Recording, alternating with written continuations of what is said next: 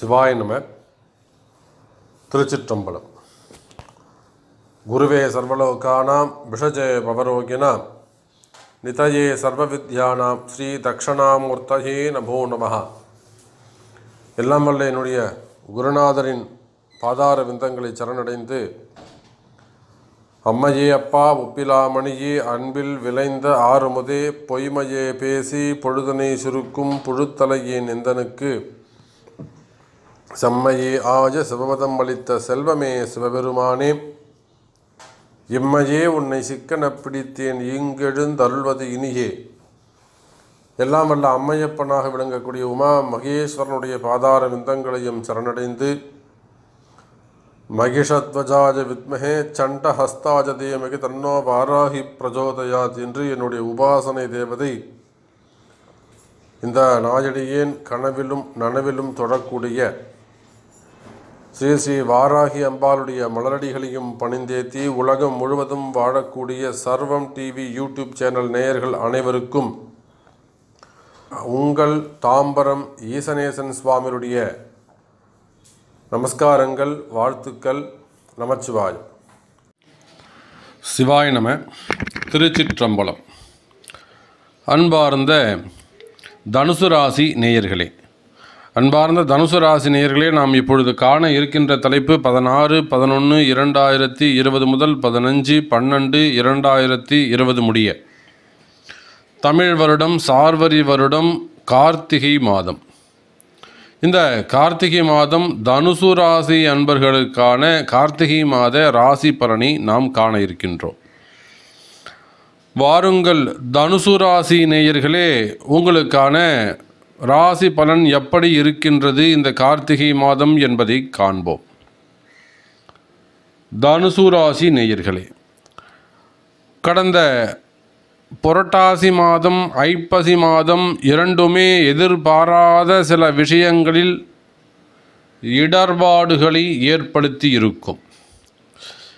இதுவரை சந்தித்தில்லாத ஒரு சில மனிதர்களை அல்லது நண்பர்களை அல்லது ஒரு சில விஷயத்தை நீங்கள் சந்தித்திருப்பீர்கள் பார்த்திருப்பீர்கள். ஒன்று உங்களுக்கே அந்த இடர்பாடுகள் அனுபவங்கள் ஏற்பட்டிருக்கும். யாருக்கெல்லாம் இது யாருக்கு நடந்திருக்கும் அப்படிங்கிறதையும் சொல்கிறேன் ஏன்னா எதையுமே ஆதாரபூர்வமாக சொல்லணும். அதுதான் என்னுடைய பழக்கம். ஏதோ சும்மா குருட்டாம் போக்கில் சொல்கிறது இல்லை இது யாருக்கெல்லாம் நடந்திருக்கும் அப்படின்னு கேட்டிங்கனாக்கா தசாபுத்தி வலுவாக இருந்து பிறப்பு ஜாதகம் வலுவாக இருந்து அதில் அமரக்கூடிய கோச்சாரங்களும் வலுவாக இருக்குமேயானால் அவர்களுக்கு நார்மலாக தான் இருந்திருக்கும். ஆனால் இதுவே ஆறெட்டு சம்பந்தப்பட்ட ஆறுட்டு ஆறெட்டு பன்னெண்டு சம்பந்தப்பட்ட திசை பாதகாதிபதி திசை மாரகாதிபதி திசை லக்ன அசுபருடைய திசை இதெல்லாம் நடந்திருக்குமே ஆனால் அவர்களெல்லாம் இந்த இடர்பாடுகளில் சிக்கியிருப்பாங்க. பொன் ஒரு சிலர் பொன் பொருளை அல்லது பொன் பொருள் என்று சொன்னால் ஆபரணம் என்று மட்டுமே அர்த்தமல்ல அது பைசாவும் அடங்கும். இடம் எல்லாமே செல்வந்தான் அதை போல ஏதேனும் ஒரு செல்வத்தை ஏதேனும் ஒரு சிறு இழப்பை ஏதேனும் ஒரு சிறு இழப்பை ஒரு பத்தாயிரம் ரூபாய் ஏமாந்தா கூட ஒரு கொடுத்து யாருக்கா ஒரு ரொம்ப வந்து அழுது புலம்பி கேட்டிருப்பாங்க கஷ்டமாக இருக்குது எனக்கு அப்படி சொல்லிட்டு உதவி கேட்டிருக்கலாம். அதை வந்து நீங்கள் ஒரு இரக்க குணத்தோடு நீங்கள் அவங்களுக்கு உதவி இருக்கலாம். ஒரு இரக்க குணத்தோடு நீங்கள் அவங்களுக்கு ஹெல்ப் பண்ணியிருக்கலாம் அந்த மாதிரி தான்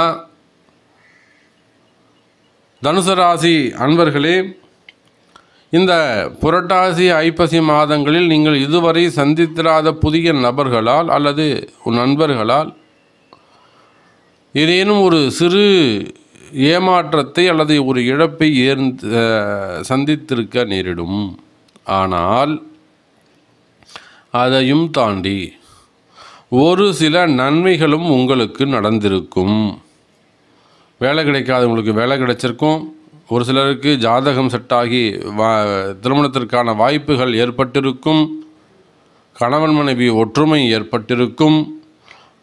மனைவி மீது அன்பு அதிகரித்திருக்கும் பாசம் அதிகரித்திருக்கும். பொண்டாட்டி தண்டா அடிக்கிற ஒரு போனா போது ரெண்டு அடி அஷ்டு போகிறா போ அப்படிங்கிற அளவுக்கு அது விட்டு கொடுக்கக்கூடிய அந்த ஒரு மனப்பக்குவம் ஏற்பட்டிருக்கும். ஒரு ஒரு பாடத்தை காலம் உங்களுக்கு கற்றுக் கொடுத்துருக்கும் என்பதுதான் உண்மை. இது சரியா இல்லையா? ஆமாம் சாமி கரெக்டாக சொன்னீங்க சாமி. ஃபஸ்ட் கிளாஸ் ரைட் சரி இப்போது இந்த கார்த்திகை மாதம் தனுசு ராசிக்கு எப்படி இருக்க போகிறது அப்படிங்கிறத நாம் பார்ப்போம். விருச்சக ராசி நேயர்களே கார்த்திகை மாதத்தை பொறுத்தவரையில் உங்கள் ராசிநாதன் குரு பகவான் ஏற்கனவே ராசியிலிருந்து கிளம்பி ராசிக்கு இரண்டாம் இடத்திலே அமர்ந்திருக்கிறார். இரண்டுக்கு உடையவன் மட்டுமே இப்போ உங்கள் ராசியில் இருக்காரு. அவரும் அடுத்த மாதம் மார்கழி மாதம். அங்கிருந்து கிளம்பி மார்கழி ஒரு பன்னிரெண்டாம் தேதி வாக்கில் அவரும் எங்கே கிளம்புறாருங்க? இரண்டாம் பாவத்திற்கு சொந்த வீட்டிற்கு கிளம்புகிறார் சென்றடைகிறார். அப்போ ராசிநாதன் ரெண்டில் ஒன்றாம் அதிபதியும் நாலாம் அதிபதியும் ஒன்றுக்கும் நாலுக்கும் உடையவன் இரண்டில் விற்றிருக்க. புரியுதுங்களா? ஏழுக்குடையவன் பன்னெண்டில் விற்றிருக்க. புரியுதுங்களா? உங்களுக்கு அஞ்சுக்குடையவன் நாலு கேந்திரஸ்தானம் இருக்கிறார். அஞ்சாம் அதிபதி யாருங்க? செவ்வாய். அஞ்சுக்கும் பன்னெண்டுக்கும் உடைய செவ்வாய் அஞ்சு பன்னெண்டுக்குடையவன் கேந்திரஸ்தானம் ஏறி நாலாம் பாவத்திலே உங்களுடைய ராசிநாதனின் சுய வீட்டிலே அமர்ந்திருக்கிறார். அப்போ இந்த கார்த்திகை மாதம் தனுசு ராசி அன்பர்களே ஒரு பக்கம் பூர்வ புண்ணியம் நீங்கள் செய்த தர்மம் உங்கள் நீங்கள் இதுவரையிலும் சேர்த்து வச்சிருக்கக்கூடிய தர்மத்தால் விளைந்த நன்மை நன்மையினால் நடக்கக்கூடிய நல்ல விஷயங்கள் வருமானம் வேலைவாய்ப்பு. இது எல்லாம் ஒரு பக்கம் வரவு வந்தாலும் இன்னொரு பக்கம் நீங்கள் சேர்த்து வைத்திருக்கின்ற முன்னதாகவே முன்னோர்களால் சேர்த்து வைத்திருக்கின்ற அந்த கர்ம வினைகளாலே அந்த வரவுகள் அங்கே செலவாகிவிடும். அஞ்சுக்கும் பன்னெண்டுக்கும் உடையவன் குடும்பஸ்தானம் கேந்திரம் ஏறி இருக்கின்றார் வலுவாக இருக்கிறார். அந்த செவ்வாய் நாலு எட்டு பன்னெண்டு ராசி ஏழாம் பாவத்தை பார்க்கிறார் செவ்வாய். அதே போல உங்களுடைய பதினோராம் பாவத்தை எட்டாவது பார்வையாக பார்க்கிறார். அதோடு மட்டுமல்லாது வீரியஸ்தானத்தையும் பார்க்கிறார். ஓகேங்க நாலு எட்டு. அப்போ இதெல்லாம் வச்சு பார்க்கின்ற பொழுது தனுசு ராசி நேர்களே வரவுக்கும் செலவுக்குமான சமமான மாதமாக இந்த மாதம் உங்களுக்கு இருக்கப் போகிறது. இப்படியெல்லாம் விவரமாக அதை விரித்து பார்க்கின்ற பொழுதுதான் உங்களுக்கு அந்த ஆழ்ந்த அர்த்தங்கள் தெரியும். இப்போ ஜாதகத்தை இப்படித்தான் பார்க்கணும். இந்தந்த முறையில் தான் நாம் பார்க்கணும். இப்படி பார்த்தா தான் அது உங்களுக்கு தெரியும். சரி இவ்வளோ விஷயம் இருக்கா சாமி அதில்? ஆமாம் சரி இப்போ நம்ம ஒரு ஒரு ஆஸ்பெக்டாக நம்ம பார்க்கலாம். தனுசு ராசி நேயர்களே முதல்ல நாம் வந்து அதே போல் தொழில்துறையை சார்ந்தவர்கள். தொழில்துறையை சார்ந்தவர்களை பொறுத்தவரையில் தொழில்துறை எப்படி இருக்கும்? வர்த்தகம் வியாபாரம் மளிகை கடை இன்னும் என்னெல்லாம் வர்த்தகங்கள் இருக்கோ டெக்ஸ்டைல் ஆகட்டும் இல்லை வந்து பெரிய தொழிற்சாலைகள் ஆகட்டும் இதெல்லாம் தனுசு ராசிக்கு வியாபாரம் செய்யக்கூடியவர்கள் உணவகங்கள் இப்படி எந்த வியாபாரத்தை எடுத்துக்கிட்டாலும் தனுசு ராசிக்கு வியாபாரம் நன்றாக இருக்கும். வரவு செலவு அதிகரிக்கும். விற்பனை அதிகரிக்கும். அதே சமயத்தில் இந்த பண்டிகை காலங்களாக இருக்கிறதால நீங்கள் என்ன ஒரு மனசில் ஒரு மகிழ்ச்சியான எண்ணங்களை வச்சுருக்கீங்களோ மகிழ்ச்சியான ஒரு டார்கெட் வச்சுருக்கீங்களோ அதை நோக்கி நீங்கள் பயணிக்கலாம். பொதுவாக இவ்வளோ தூரம் நடக்கணும் ஒரு இந்த மாதம் நமக்கு இவ்வளோ வியாபாரம் நடக்கணும் அப்படின்னு ஒரு குறிப்பிட்ட அமௌண்ட்டு நீங்கள் டார்கெட்டாக ஃபிக்ஸ் பண்ணியிருந்தீங்கன்னு சொன்னாக்கா அந்த அமௌண்ட்டை வந்து நீங்கள் தாராளமாக ஃபிக்ஸ் பண்ணலாம். அது உங்களுக்கு நடக்கும். அப்போது தொழில்துறையை பொறுத்தவரையிலே வர்த்தகங்களாக இருக்கட்டும் பெரிய தொழிற்சாலைகளாக இருக்கட்டும் அல்லது எந்த விதமான வியாபாரமாக இருந்தாலும் அதிலே வெற்றி கிடைக்கும். வியாபாரத்தில் வெற்றி. அதே போல் விவசாயம். விவசாயத்துறையை சார்ந்தவர்கள் அந்த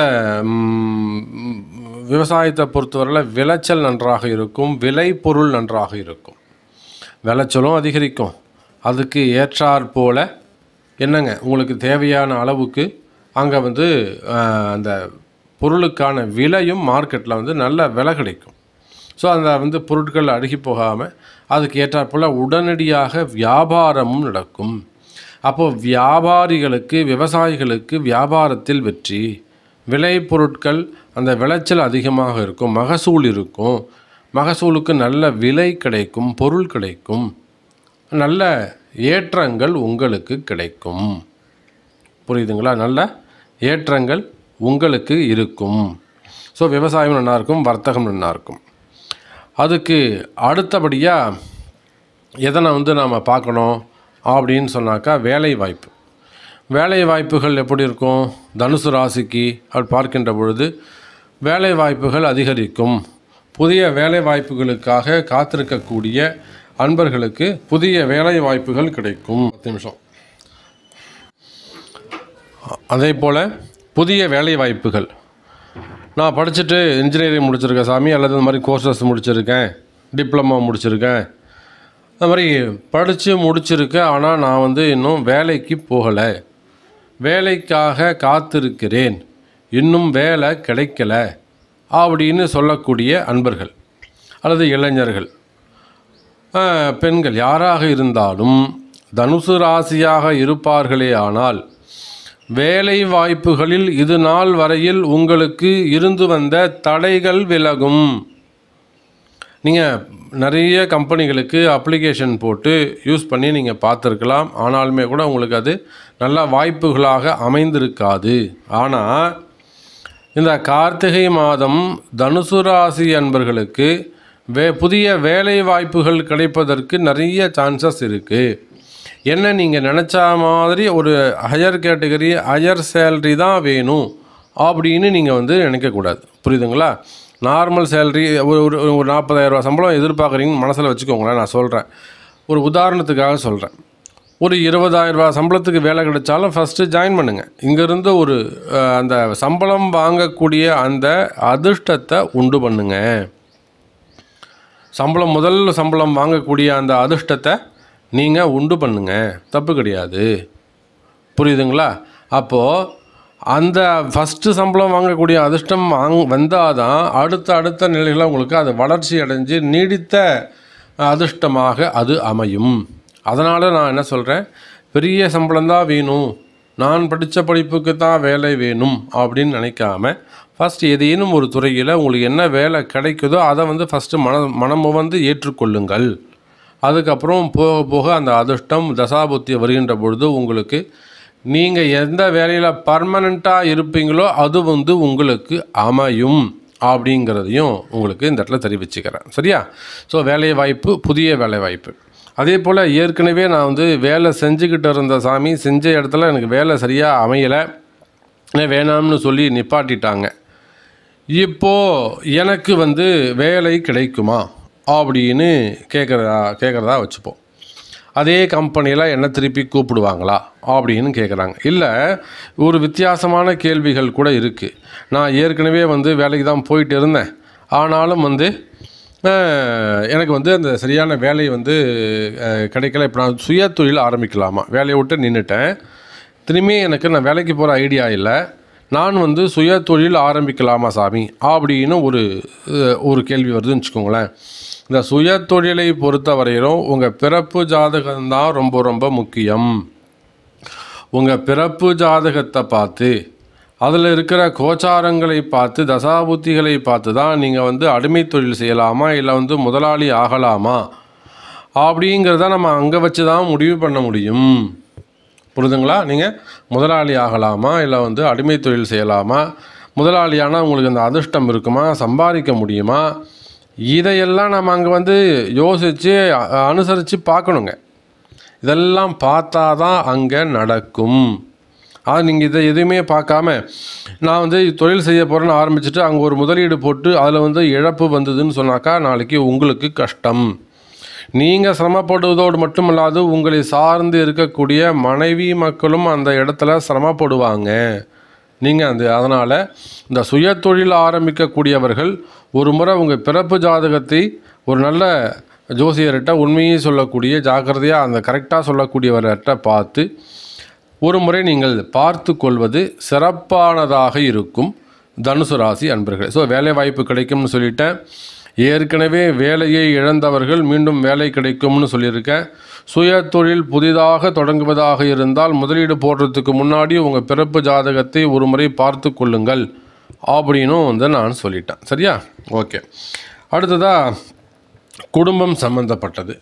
குடும்பம் குடும்ப வாழ்க்கைகள்லாம் எப்படி இருக்கும்? குடும்பம்னா இது பெற்றோர்கள் பிள்ளைகள் கணவன் மனைவி உற்றார் உறவினர்கள். இப்போ தனுசு ராசிக்கு நாலாம் பாவத்தில் செவ்வாய் இருக்கார். அஞ்சு கூடியவன் இருக்கிறார். அப்போது நல்ல விஷயம்தான் குடும்பத்தில் நடக்கும். மகிழ்ச்சிகரமான செய்திகள் உங்களை வந்து சேரும். நல்ல விஷயங்கள் நடக்கும். தப்பு கிடையாது. கூடுதலான அந்த மகிழ்ச்சி குடும்பத்திலே நடக்கும். மங்களகரமான செய்திகள் வந்து சேரும். எப்படிங்க? மங்களகரமான செய்திகள் உங்கள் காதுகளுக்கு வந்து சேரும். அதோடு மட்டும் இல்லைங்க மங்களகரமான செய்தி வருவது மட்டும் இல்லைங்க இன்னும் கேட்டிங்கன்னு சொன்னாக்கா அதாவது ஏற்கனவே மாமனார் மாமியார் இல்லை அப்பா அம்மா இவர்களிடத்தில் ஏதேனும் ஒரு மன வருத்தம் இருக்குமே ஆனால் அந்த மன வருத்தம் விலகி அந்த மன வருத்தம் நீங்கி நீங்கள் இந்த ஒரு ஒற்றுமையாக இருக்கக்கூடிய காலம் குடும்ப வாழ்க்கையில் குடும்பத்தில் ஒரு ஒற்றுமை மேல் ஓங்கக்கூடிய நேரம் உங்களை தேடி வருகிறது. புரியுதுங்களா? மேலோங்கி வருகிறது. குடும்பத்தில் மகிழ்ச்சியாக இருக்கும். உறவு முறைகள் மேம்படும். உறவுகளிடத்தில் நல்ல அன்னோன்யம் அன்பு அதிகரிக்கும். சரி. அதே போல் கணவன் மனைவி உறவு. கணவன் மனைவி உறவு எப்படி இருக்கும்? அப்படிங்கிறத பார்த்தீங்கன்னாக்கா கணவன் மனைவி உறவு என்பதை பொறுத்தவரையில் கணவன் மனைவி உறவு மேம்படும். காரணம் என்னன்னு கேட்டிங்கனாக்கா ஏழாம் அதிபதி புதன் அந்த ஏழுக்குடையவன் வந்து எங்கே? உங்கள் ராசிக்கு ரெண்டாம் பன்னெண்டாம் இடத்துல வந்து உட்காந்துருக்கிறார் ஓகேவா? அப்போ என்ன ஆகும்? கணவன் மனைவி சம்மந்தப்பட்ட விஷயத்தில் ஏதேனும் ஒரு விரயம் ஒரு மருத்துவ செலவு குடும்பத்தில் ஏதோ ஒரு அப்பாவுக்கு ஒரு உடம்பு சரியில்லைன்றதோ இல்லை மாமனார் மாமியாருக்கு ஒரு உடம்பு சரியில்லைன்றதோ அப்போ மருமக போய் அதை கவனிச்சுக்கிறது இல்லை ஆஸ்பத்திரி கூட்டு போயிட்டு வர்றது அந்த மாதிரி அந்த மாதிரி எல்லாம் ஒரு கணவன் மனைவிக்குள்ள ஒரு சிறு ஆரோக்கிய குறைவு ஒருத்தருக்கு ஒருத்தரை கவனிச்சுக்கிறது. இந்த மாதிரியான ஒரு செலவுகள் அங்கேயே ஏற்படும். அப்போ ஒரு சின்ன செலவு தாங்க அது. சின்ன விரயம் தான். ஒன்றும் பயப்படுற மாதிரி ஒன்றும் கிடையாது. சிறு சிறு விரயங்கள் அல்ல ஒரு ஹாஸ்பிட்டாலிட்டி செலவுகள் ஒரு சின்ன ஆரோக்கிய குறைவு ஏற்படும். சரி. ஏற்கனவே கணவன் மனைவி உறவிலே ஒரு விரிசல் இருக்குதுன்னு வச்சுப்போமே. அந்த விரிசல் வந்து இப்போ சரியாகுமா சாமி? எங்கள் வீட்டுக்காரர் என்கிட்ட பேசிய வ வருஷக்கணக்கில் அது ஆறு மாதம் அது வீட்டுக்கு வரதில்ல சம்பளம் கொடுக்கறதில்ல. அதே போல் தான் மனைவி கூட நான் கோச்சுன்னு பசங்களை கூப்பிட்டுன்னு அம்மா வீட்டுக்கு போயிட்டாங்க. இல்லை இன்னொரு இடத்துல போய் வாழ்கிறாங்க அது போல் நிறைய டிஃப்ரெண்ட்டு கஸ்டமர்ஸ்லாம் வர்றாங்க. அப்போ அந்த மாதிரி பிரிந்த கணவன் மனைவிகள் கூட மனம் திருந்தி மீண்டும் உங்களோடு வந்து சேர்ந்து வாழ்வதற்கு வாய்ப்புகள் இருக்கின்றது. எப்படிங்க? பிரிந்த கணவன் மனைவி மீண்டும் திருந்தி உங்களோடு வந்து சேர்ந்து வாழக்கூடிய வாய்ப்புகள் கிடைக்கும். அப்போ அதுக்கு அதுக்கு ஏற்றாற்போல கால சூழ்நிலைகள் மாறும். கிரகங்களும் கோச்சாரங்களும் நவகிரகங்களும் அதுக்கு உங்கள் அந்த கணவன் மனைவி மீண்டும் ஒன்று சேருவதற்கு வாய்ப்புகள் அதிகரிக்கின்றது. அனுகூலமான நேரம் உங்களை தேடி வருகிறது தனுசு ராசி நேயர்கள். ஏன்னா தனுசு ராசி நேயர்கள் கிட்டத்தட்ட கடந்த ஒரு ஐந்து ஆண்டுகளாகவே இந்த கணவன் மனைவி உறவுகளை பொறுத்தவரையில் ரொம்ப சிரமப்பட்டு இருப்பாங்க. ஐந்து வருடத்துக்கு மேலாக மேலாகவே கொஞ்சம் இந்த கணவன் மனைவி உறவில் வந்து வெளியில் சொல்ல முடியாமல் கொஞ்சம் சிக்கி தவிர்ப்பதை போல ஒரு உறவு முறையில் ஒரு ஸ்ட்ரகிளிங் இருந்துகிட்ருக்கும் அந்த இணக்கம் கூடும். இணக்கம் கூடும். அங்கே இருக்கக்கூடிய பகைமை விலகும். ஒரு சிலருக்கு வந்து பிரிவுக்காக டிவோர்ஸ்க்கு அப்ளை பண்ணியிருக்கலாம் கோர்ட்டு வம்பு வழக்கு கேஸ் இருக்கலாம். போலீஸ் ஸ்டேஷன் இருக்கலாம். ஸோ இந்த மாதிரி விஷயங்கள்லாம் கூட விலகுவதற்கு வாய்ப்புகள் உண்டு. இந்த மாதிரி விஷயங்கள்லாம் கூட விலகுவதற்கு உங்களை விட்டு நீ விலகுவதற்கு வாய்ப்புகள் அதிகம். புரியுதுங்களா? ஸோ இப்போது என்ன ஆகும்? அப்படின்னு சொல்லி கேட்டிங்கனாக்கா வாய்ப்புகள் வ- இது மாதிரி வ- வரும் அப்படின்னு சொன்னாக்கா அப்போ இந்த கணவன் மனைவி ஒற்றுமை ஏற்கனவே ஒரு வம்பு வழக்கு இருக்குன்னு சொன்னாக்கா அப்போ அதன் கூட பஞ்சாயத்து மூலியமாக உறவு முறைகள் மூலியமாக ஏதேனும் ஒரு- ஒருத்தரோ ரெண்டு பேராக உட்காந்து பஞ்சாயத்து பேசி அனுகூலமாக உங்களுக்கு வந்து அதை முடிச்சு கொடுக்கக்கூடிய கால சூழ்நிலைகள் ஏற்படும். ஒரு நல்ல விஷயம் உங்களுக்கு நடக்கும். அடுத்ததாக திருமண யோகம். திருமண யோகத்தை பொறுத்தவரையில் தனுசு ராசிக்கு நல்ல நேரம் ஆரம்பிச்சிருக்கு. இப்போ தான் இனிமே தடைப்பட்ட திருமணங்கள் எல்லாம் கடகட கடகடன்னு நடக்கும். எத்தனை திருமணங்கள் வந்து தடைப்பட்டதோ அந்த தடைப்பட்ட திருமணங்கள் எல்லாம் இனிமே வேக வேகமாக நடைபெறும். ஏற்கனவே ஏற்பாடாகி நின்று போயிருந்தாலும் சரிதான். அந்த திருமணங்கள்லாம் கூட ஒரு நல்ல நாள் பார்த்து நல்ல முகூர்த்தம் பார்த்து திரும்பவும் நடப்பதற்கு வாய்ப்புகள் உண்டு. புரியுதுங்களா? ஸோ அது மாதிரி ஒரு மகிழ்ச்சியான தருணம் இந்த திருமண யோகத்துக்கு இருக்குது அதே போல் இரண்டாம் திருமணம் மறுமணம் செய்து கொள்வதற்கான வாய்ப்புகளும் இருக்குது மறுமணம். மறுமணம்னு சொன்னால் இது எப்படிலாம் சொல்லலாம்? அப்படின்னு பார்த்தீங்கன்னாக்கா மறுமணம்னு சொல்கின்ற பொழுது அவங்களுக்கு வந்து அதான் ஏற்கனவே அந்த வி- விவாகரத்தானவர்கள் விதவைகள் அந்த மாதிரிலாம் இருக்காங்க இல்லையா? இல்லை வந்து பிரிஞ்சவங்க. ஒருத்தருக்கு ஒருத்தர் பார்த்துக்கிறவங்க. அந்த மாதிரி இருக்கக்கூடிய இரண்டாம் திருமணம் கூட கைகூடுவதற்கு தனுசு ராசி என்பவர்களுக்கு நல்ல நேரம். ஒரு நல்ல நேரம். உண்மையாகவே இந்த தனுசு ராசிக்கு இனி வரும் காலம் எதிர்காலம் சிறப்பானதாக இருக்கும். மகிழ்ச்சியானது இந்த அஞ்சு ஆறு வருஷமாக நீங்கள் என்னெல்லாம் கஷ்டப்பட்டீங்களோ அந்த கஷ்டத்துலேருந்து நீங்கள் வெளிவரக்கூடிய அற்புதமான தருணங்கள் காத்திருக்கின்றன. இந்த சனி பயிற்சி தனுசு ராசிக்கு மிக மிக முக்கியம். தனுசு ராசி இந்த குரு பெயர்ச்சி சனி பெயர்ச்சி ரொம்ப ரொம்ப முக்கியம்னு சொல்லியிருக்கேன் நான் உங்களுக்கு. காரணம் உங்கள் ராசிநாதன் தான் குரு. அவர் வந்து ஐப்பசி மாதம் அங்கேருந்து கிளம்பி ரெண்டாம் வீட்டுக்கு போயிட்டார்.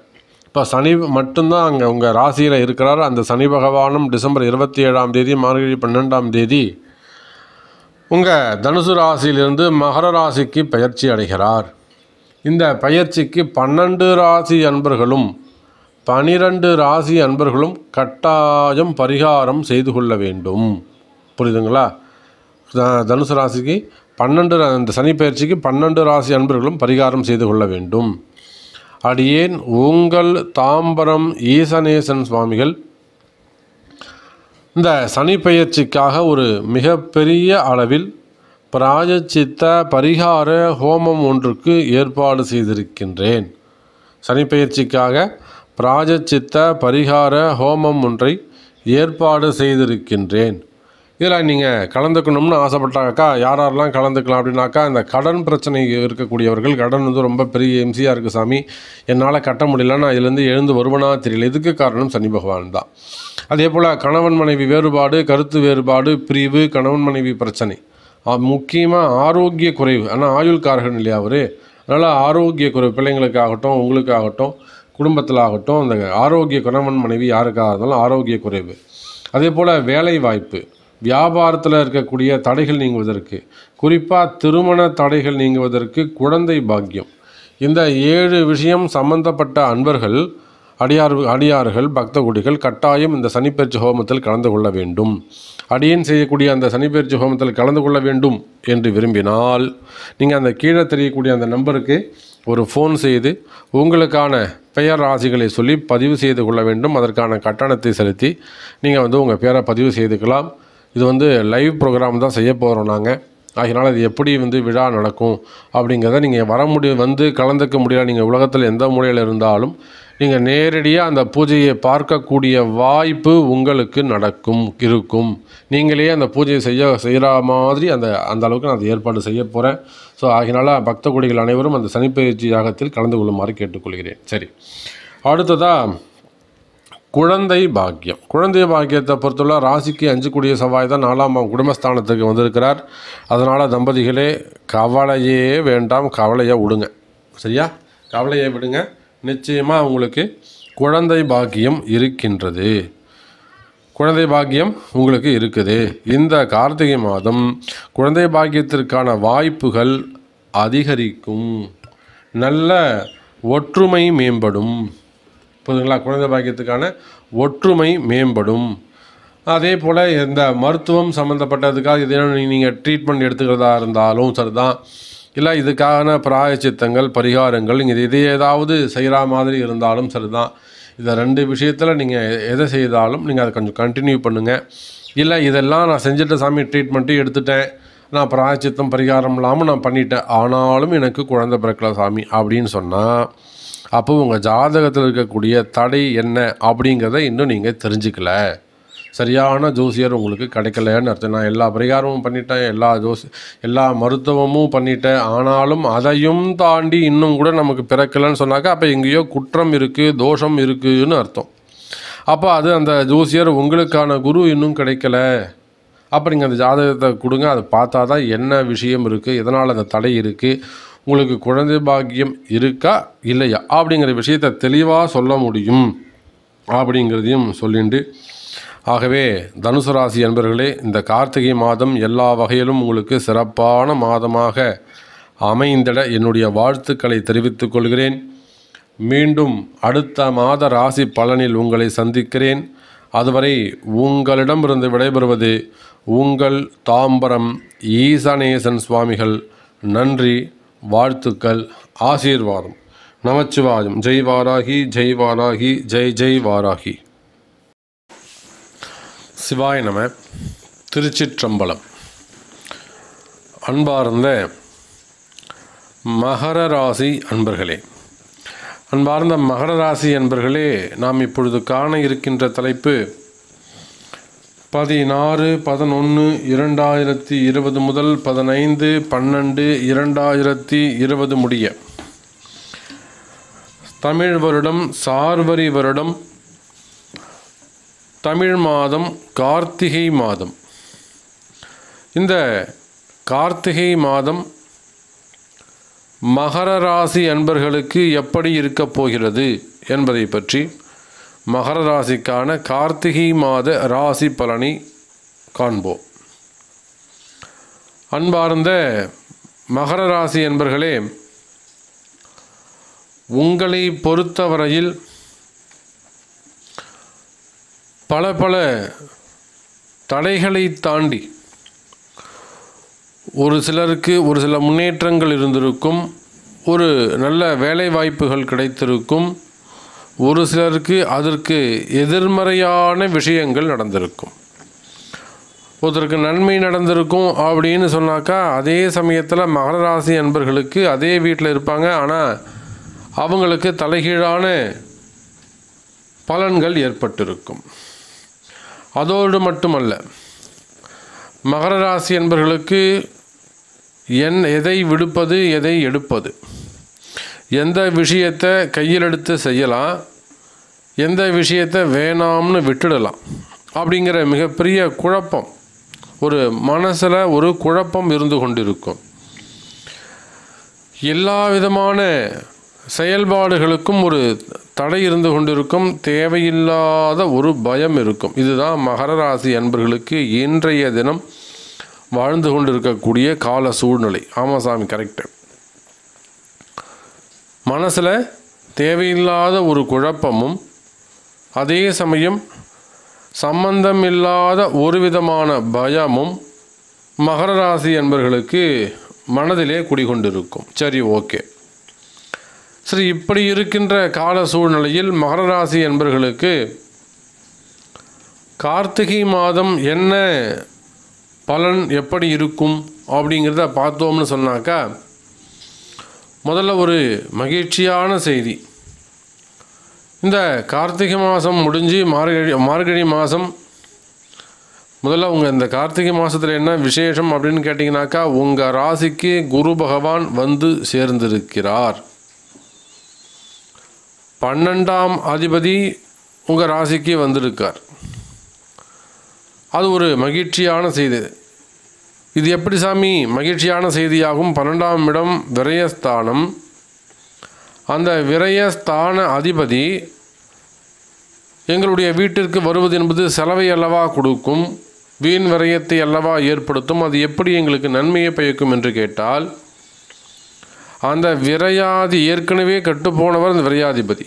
ஒரு குற்றம் உடையவர் அவர் உங்கள் வீட்டுக்கு வந்து சேர்றான்னு சொல்லும்போது அங்கே நீச்சமடை செயலற்று விடுகிறார். விரையாதிபதி முழு பலத்தோடு இருந்தால் தானே உங்களுக்கு விரயத்தை கொடுக்க முடியும். அடிக்கிறவன் முழு உடம்பு பலசாலியாக இருந்து அடித்தா தானே உங்களுக்கு வலிக்கும். பலமிழந்து உங்களுக்கு அடித்தாருன்னு சொன்னாக்கா அது ஒரு வழியாகவே இருக்காது. அப்போது பன்னெண்டாம் அதிபதி பலமிழந்து உங்கள் நிலையில் இருக்கின்ற பொழுது இயற்கையாக இயற்கையாகவே அவர் சுபராக மாறிவிடுகிறார். அதோடு மட்டுமல்ல இந்த ஜன்ம சனியை நடந்து கொண்டிருக்கக்கூடிய மகர ராசி அன்பர்களுக்கு சனி பகவான் அடுத்த மாதம் மார்கழி மாதம் பன்னெண்டாம் தேதி போல் அவங்க வந்து அங்கே அமர இருக்கிறார்.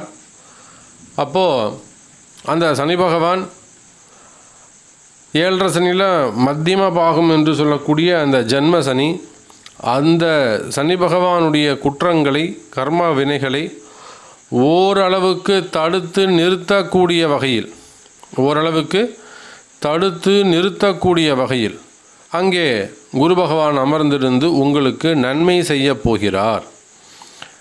ந- நன்மை செய்ய போகிறார்.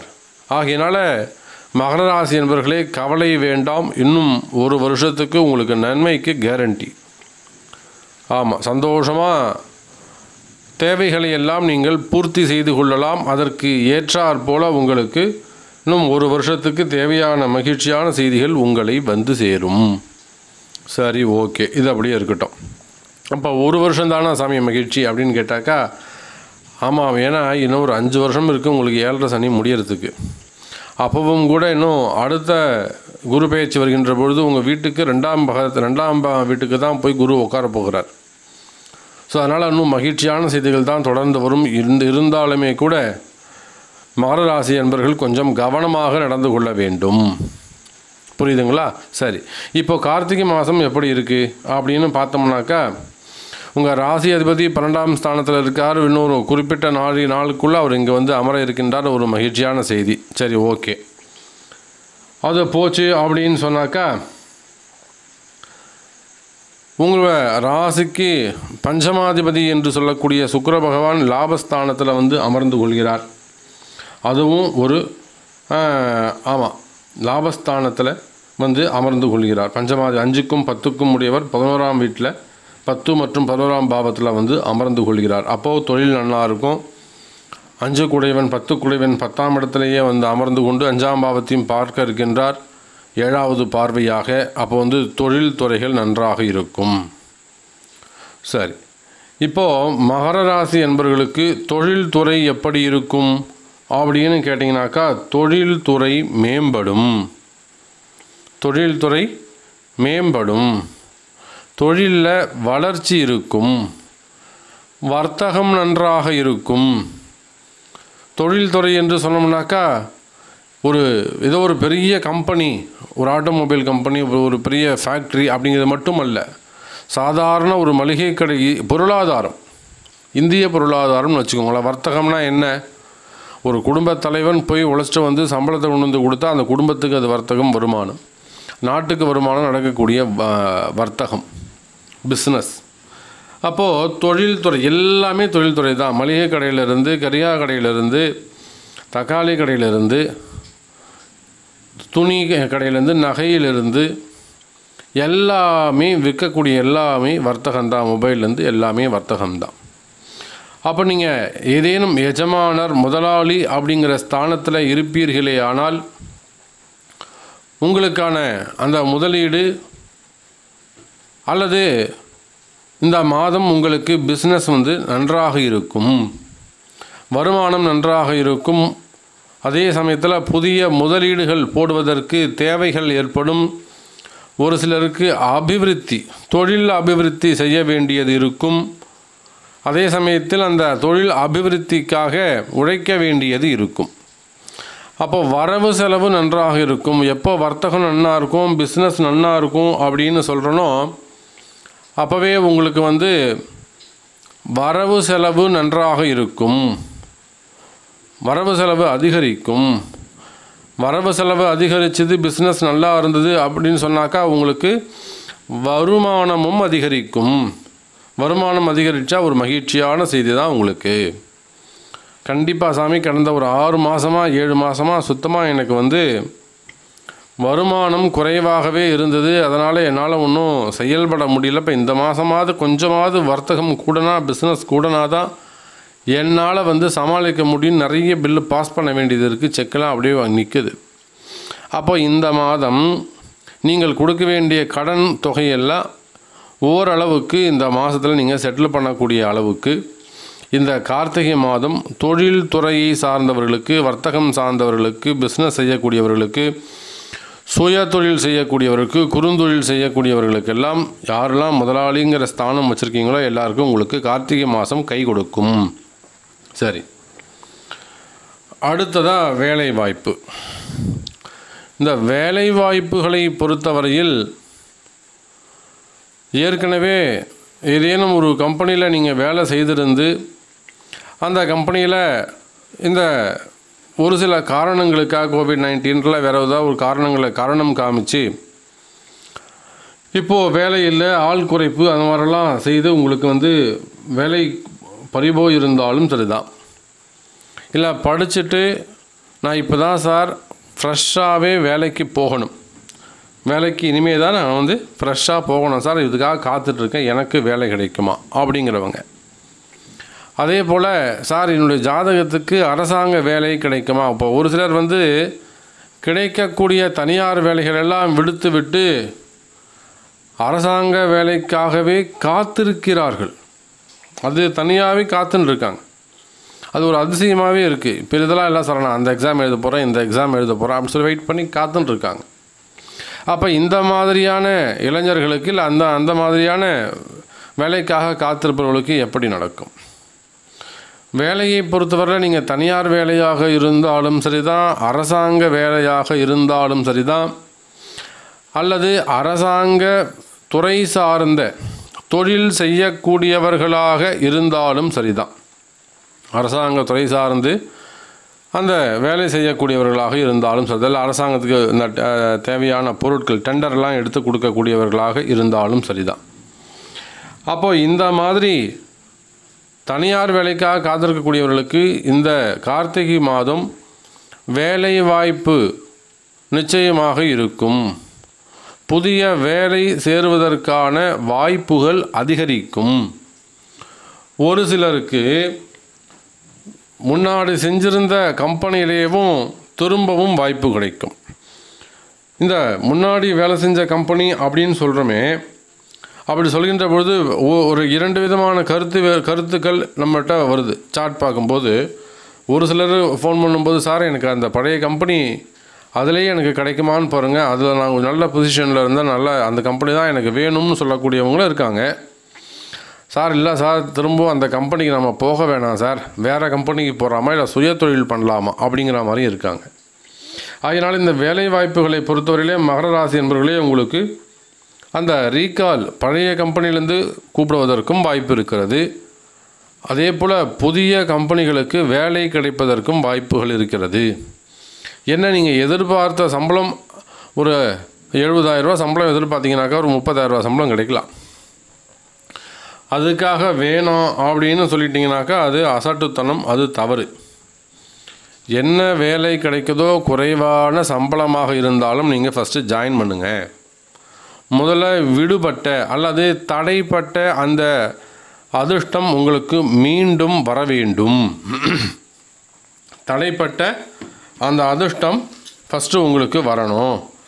அது வந்தால் தான் அடுத்தடுத்த நிலைகளுக்கு நீங்கள் போக முடியும். ஆகையினால ஒரு சம் கம்மியான சம்பளமாக இருக்குது அதனால் எனக்கு வேணாம் அப்படின்னு சொல்லக்கூடாது. எந்த வேலை கிடைக்குதோ அந்த வேலைக்கு ஃபஸ்ட்டு போய் ஜாயின் பண்ணுங்கள் அதுதான் புத்திசாலித்தனம் மகர ராசி என்பவர்களே வேலை வாய்ப்பு உண்டாகும் கவலை வேண்டாம். அதே போல் ரியல் எஸ்டேட் செய்யக்கூடியவர்கள் சினிமா துறையை சார்ந்தவர்கள் அரசியலில் ஈடுபட்டிருக்கக்கூடியவர்கள் இவர்களுக்கும் இந்த கார்த்திகை மாதம் கை கொடுக்கும். நீண்ட நாட்களாக இருந்து வந்த தொழிலிலே தொழிலில் இருந்து வந்த தடைகள் விலகும். ஒரு பெரிய பிளாட் போட்டிருக்கல சாதாரணமாக ஒரு பிளாட் போட்டிருக்கேன் சார். ஒரு முதலீடு போட்டிருக்கேன்.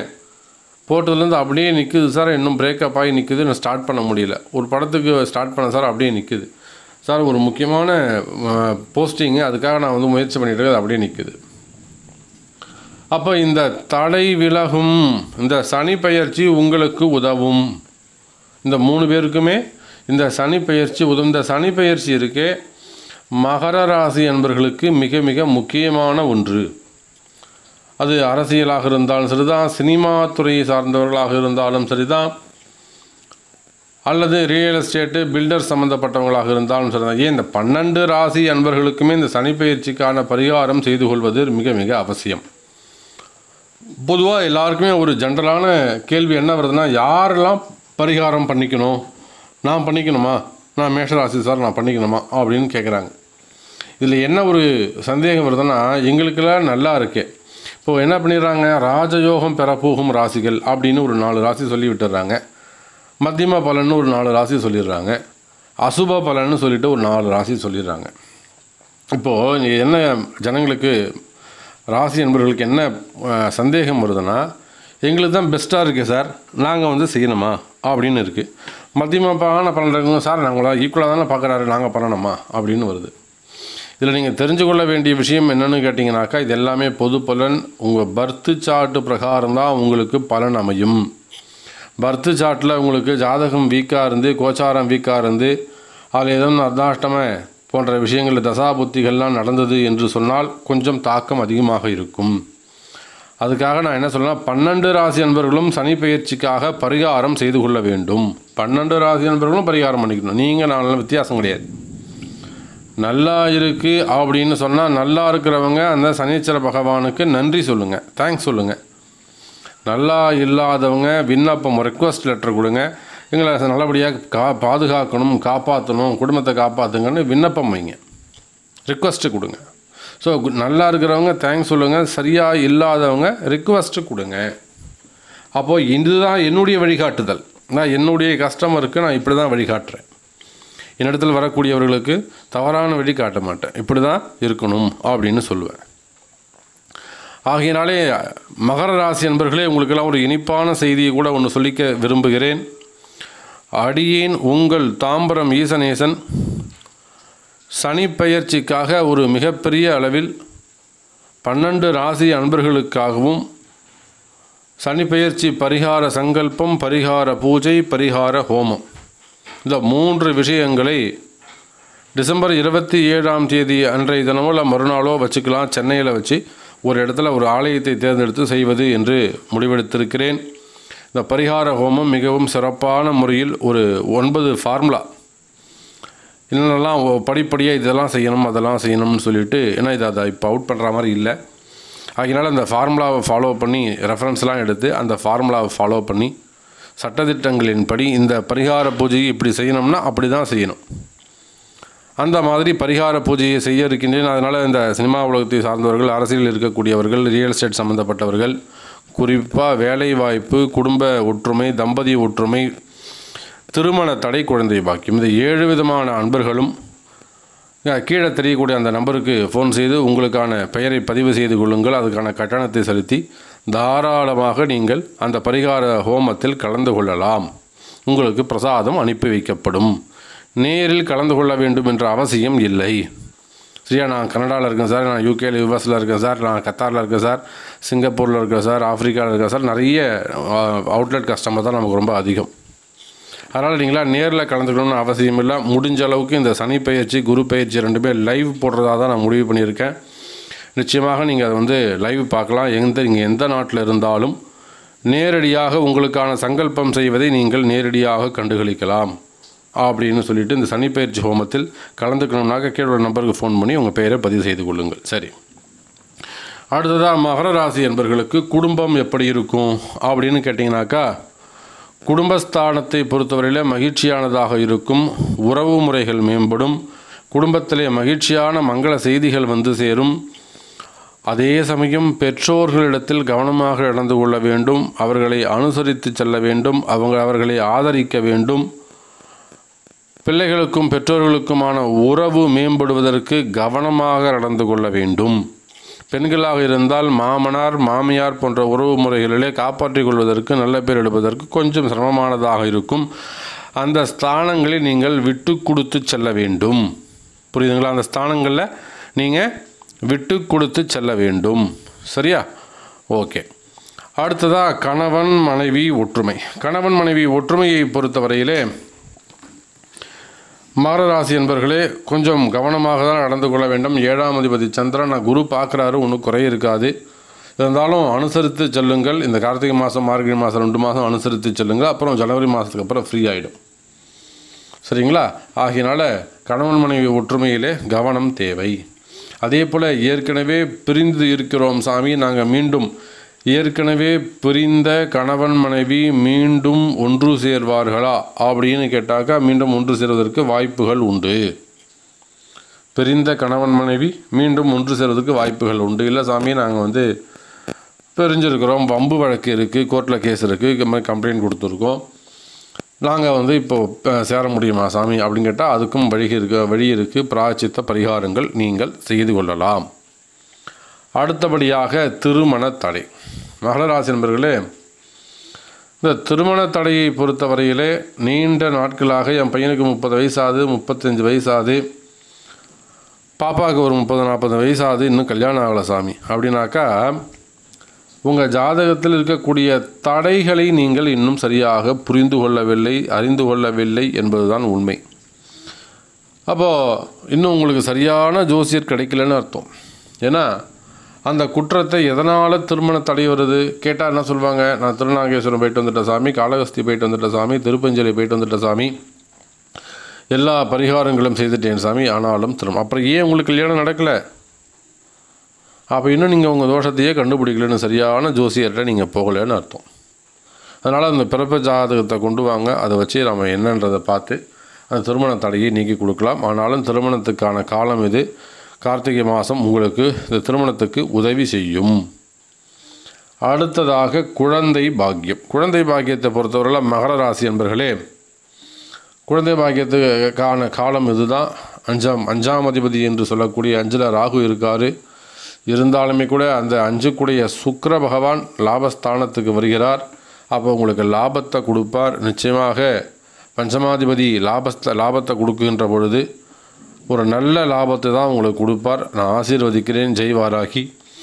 குழந்தை பாக்கியம் உங்களுக்கு கிடைக்கும். இந்த திருமண தடைக்கு சொன்னது தான் உங்களுக்கும் உங்களுடைய ஜப்பரப்ப பிறப்ப ஜாதகத்தையும் ஒரு முறை ஆராய்ச்சி செய்து கொள்வது சிறப்பானதாக இருக்கும். ஆகவே இந்த கார்த்திகை மாதம் உங்களுக்கும் குழந்தை பாக்கியத்திற்கான காலமாக அமையும். ஆகவே மகர ராசி என்பர்களே இந்த கார்த்திகை மாதம் எல்லா வகையிலும் உங்களுக்கு எல்லா வகையான சிறப்புகளையும் தர வேண்டும் தரட்டும் என்று ஆசீர்வதிக்கிறேன் அருள்பாலிக்கிறேன்.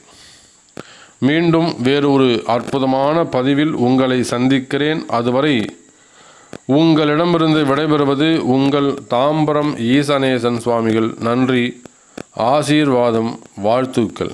ஜெய் வாராகி ஜெய் வாராகி. ஜெய் ஜெய் வாராகி. சிவாய் நம திருச்சிற்றம்பலம். அன்பார்ந்த கும்பராசி நேயர்களே. அன்பார்ந்த கும்பராசி நேயர்களே நாம் இப்பொழுது காண இருக்கின்ற தலைப்பு பதினாறு பதினொன்று இரண்டாயிரத்தி இருபது முதல். பதினைந்து பன்னெண்டு இரண்டாயிரத்தி இருபது வரை நடைபெற இருக்கின்ற தமிழ் வருடம் சார்வரி வருடம் கார்த்திகை மாதம். கும்ப ராசிக்கான கார்த்திகை மாத ராசி பலனை நாம் காண இருக்கின்றோம். வாருங்கள் கும்பராசி நேயர்களே உங்களுக்கான கார்த்திகை மாத ராசி பலனை நாம் காண்போமாக. அன்பார்ந்த கும்பராசி நேயர்களே கடந்த புரட்டாசி மற்றும் ஐப்பசி இந்த இரண்டு மாதங்களும் உங்களுக்கு ஓரளவுக்கு ஒரு முப்பது சதவிகிதம் அல்லது நாற்பது சதவிகிதம் வகையில் நன்மையை செய்திருக்கும். கஷ்டம்தான் போராட்டம்தான் இருந்திருக்கும். ஆனால் அந்த போராட்டங்களும் கஷ்டங்களும் நீங்கள் அதை செய்ததுனால பட்டதுனால சமாளிக்கக்கூடிய வகையில் உங்களுக்கு இருந்திருக்கும். ஏதோ சமாளிச்சிட்ட சார். எப்படி பண்ணன்னு தெரில வீட்டு வாடகை கட்டணும் ஈபி கட்டணும் கேஸ் இருக்குது இதே பால் இருக்குது எல்லாமே இரு மளிகை சாமான் கடன் இருக்குது எப்படியும் அங்கங்கே கொஞ்சம் கொஞ்சம் கொடுத்து அப்படியே சமாளிச்சிட்டேன் சார். பரவாயில்ல. எப்படி தள்ளி விட்டுட்டேன்னு வச்சுக்கோங்களேன். இருந்தாலும் அந்த அந்த ஸ்கூல் ஃபீஸு கடன் அதெல்லாம் எனக்கு சார். அந்த மாதிரி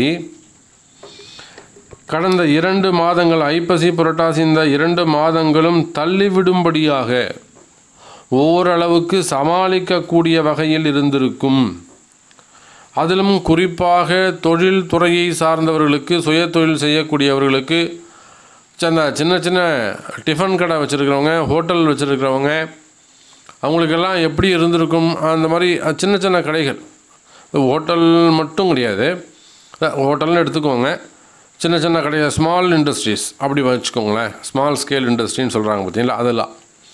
பெரிய ஆர்டர்ஸ் ஒன்றும் இல்லை சார் ஆனாலும் வீட்டில் இருக்கிறது வேலைக்கு போனால் தான் ஏதோ ஒரு கஞ்சியாவது குடிக்கலாம்.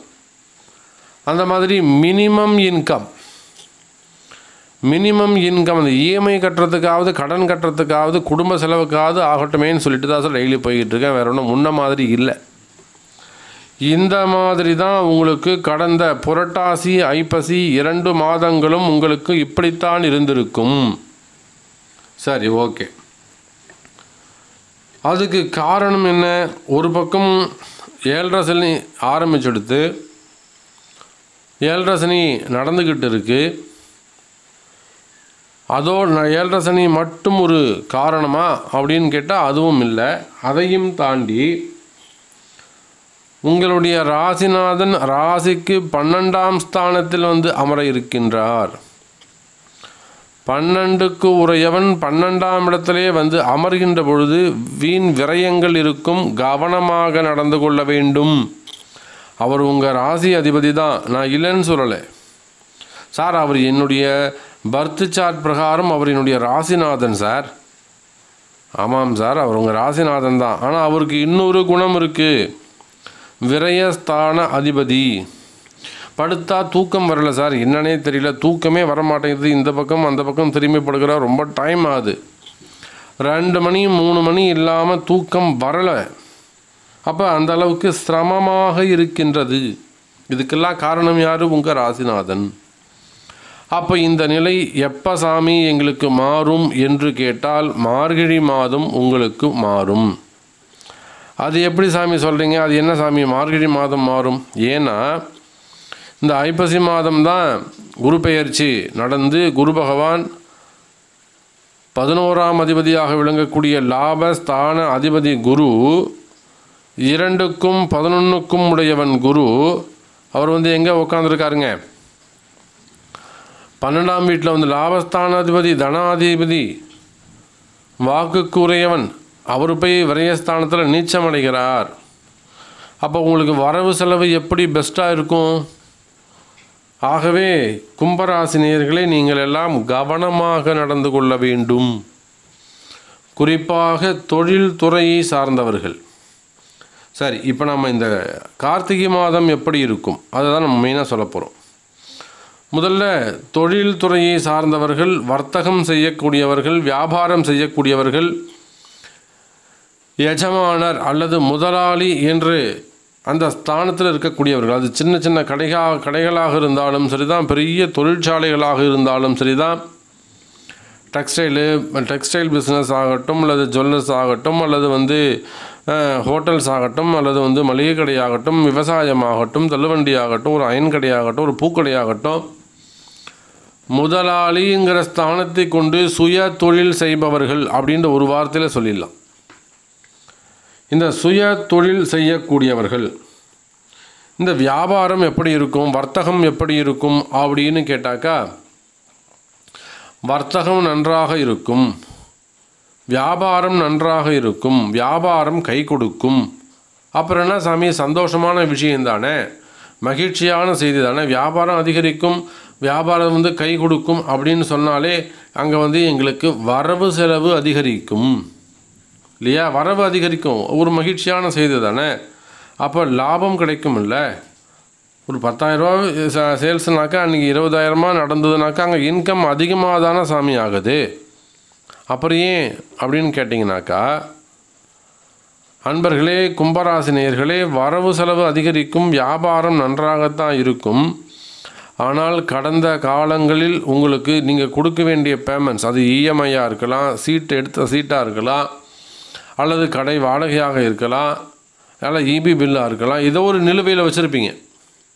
அது கட்ட முடியாமல் வச்சுருப்பீங்க. அப்போ இதில் வரக்கூடிய ஒரு விஷயங்களை எடுத்து கொஞ்சோண்டு குடும்பத்தை எடுத்து கொடுத்துட்டு மீது எல்லாத்தையும் எடுத்து அந்தந்த கடைகள் கொஞ்சம் கொஞ்சம் கொஞ்சம் கொஞ்சமாக கொடுத்து அவர்கள் இடத்துல ஓரளவுக்கு நல்ல பேர் வாங்கிக்கிறதுக்கு முயற்சி பண்ணலாம்.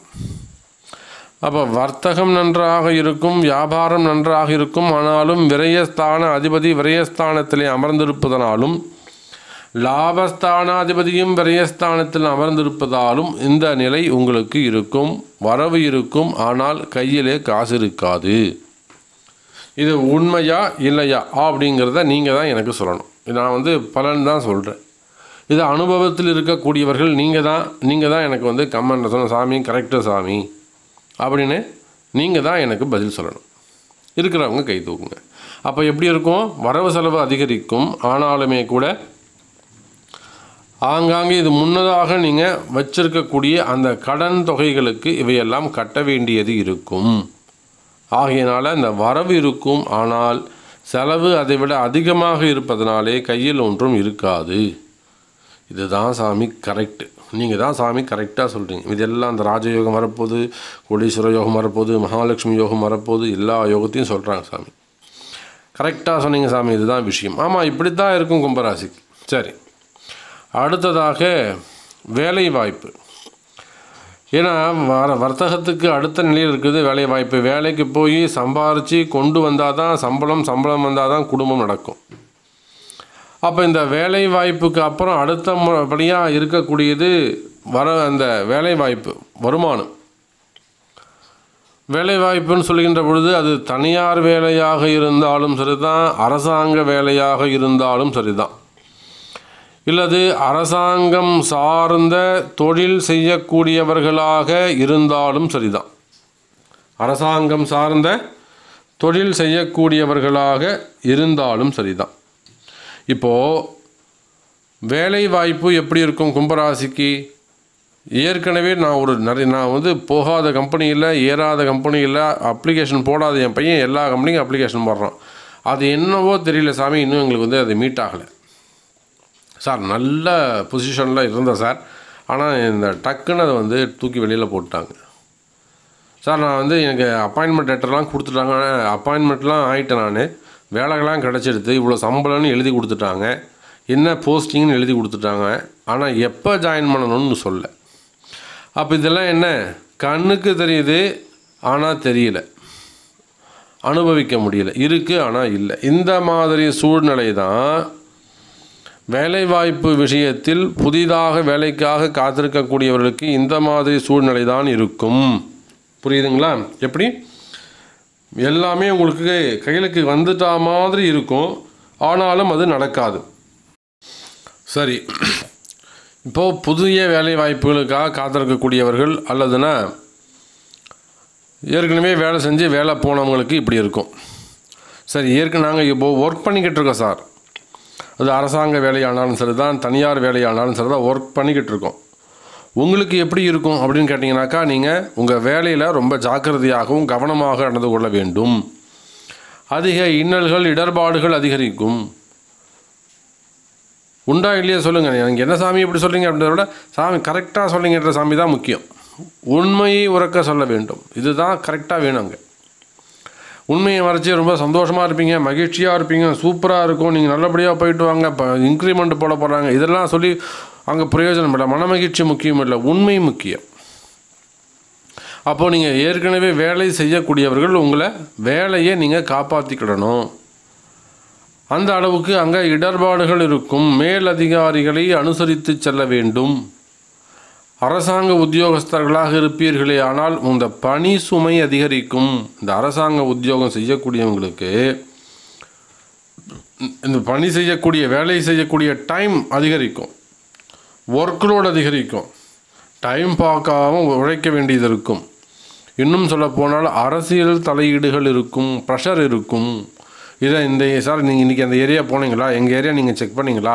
எங்கள் ஏரியாவில் நான் ஒரு ரெண்டு விஷயத்தை சொல்லியிருந்தேன். அதை பண்ணீங்களா? ஃபாலோ பண்ணீங்களா? முடிச்சிங்களா? அந்த மாதிரி உங்களுக்கான ஒர்க்குலோடு அதிகரிக்கும். அப்போ நீங்கள் கோவப்பட்டீங்க அப்படின்னு சொன்னால் நீங்கள் கோவப்பட்டீங்க அப்படின்னு சொன்னாக்கா அங்கே வந்து பிரயோஜனம் இருக்காது. ஆகையினாலே நீங்கள் வந்து என்ன பண்ணணுங்க? கவனமாக நடந்து கொள்ள வேண்டும். ஜாக்கிரதையாக நடந்து கொள்ள வேண்டும் கவனமாக நடந்து கொள்ள வேண்டும். சரியா? அப்போ வேலை வாய்ப்புகளை பொறுத்தவரையில் ஏற்கனவே வேலை செஞ்சுக்கிட்டு இருக்கோம் அப்படின்னு சொன்னாக்கா அவங்களும் கவனமாக இருக்கணும். அது அரசாங்க வேலையாக இருந்தால் மேல் அதிகாரிகளை அனுசரித்து செல்ல வேண்டும். பணி சுமைகளை கொடுக்கனுடைய பொறுப்புகளை செயல்பாடுகளை செய்து முடிக்கணும். அதே சமயம் தனியார் வேலையாக இருந்தால் வேலைக்காக காத்திருக்கக்கூடியவர்கள் என்ன வேலை கிடைக்குதோ கிடைக்கிற வேலைக்கு கிடைக்கிற சம்பளத்துக்கு நீங்கள் அக்செப்ட் பண்ணிக்கணும் போகணும். அதே போல் புதிதாக அரசாங்க வேலைக்காக காத்திருக்கக்கூடியவர்கள். அதுவும் இருக்கு இல்லையா? இப்போ டீச்சர் ட்ரைனிங் அந்த மாதிரி நர்ஸ் ட்ரைனிங் அந்த மாதிரி நிறைய இருக்குது அதோடு இல்லாமல் பணம் கட்டி காத்திருக்கக்கூடியவர்கள்லாம் இருக்காங்க. இவங்களுக்கெல்லாம் கூட இந்த பணம் கொடுக்குற விஷயங்களில் பணம் கொடுக்கல் வாங்கல நீங்கள் ரொம்ப கவனமாக இருக்க வேண்டும். நிறைய பேர் எனக்கு கொடுத்த பணம் வருமா கொடுத்த பணம் வருமா வேலை கிடைக்குமான்னு கூட கேட்க மாட்டாங்க. இப்போ அவங்களுக்கே அந்த நம்பிக்கை போயிடுது. கொடுத்த பணம் வருமான்னு தான் கேட்குறாங்க.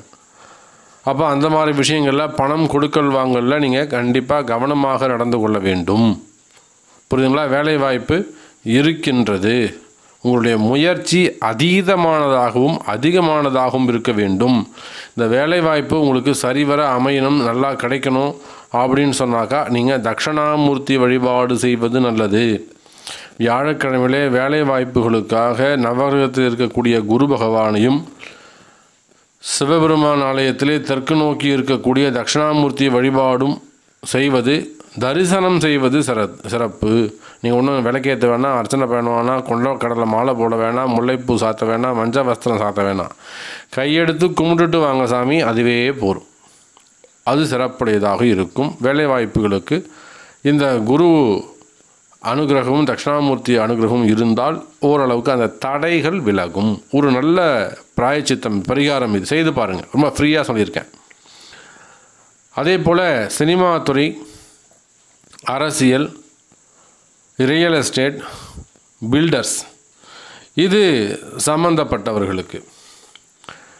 வியாபா இந்த தொழிலெலாம் எப்படி இருக்கும்? இந்த துறை சார்ந்தவர்களுக்கு எப்படி இருக்கும்?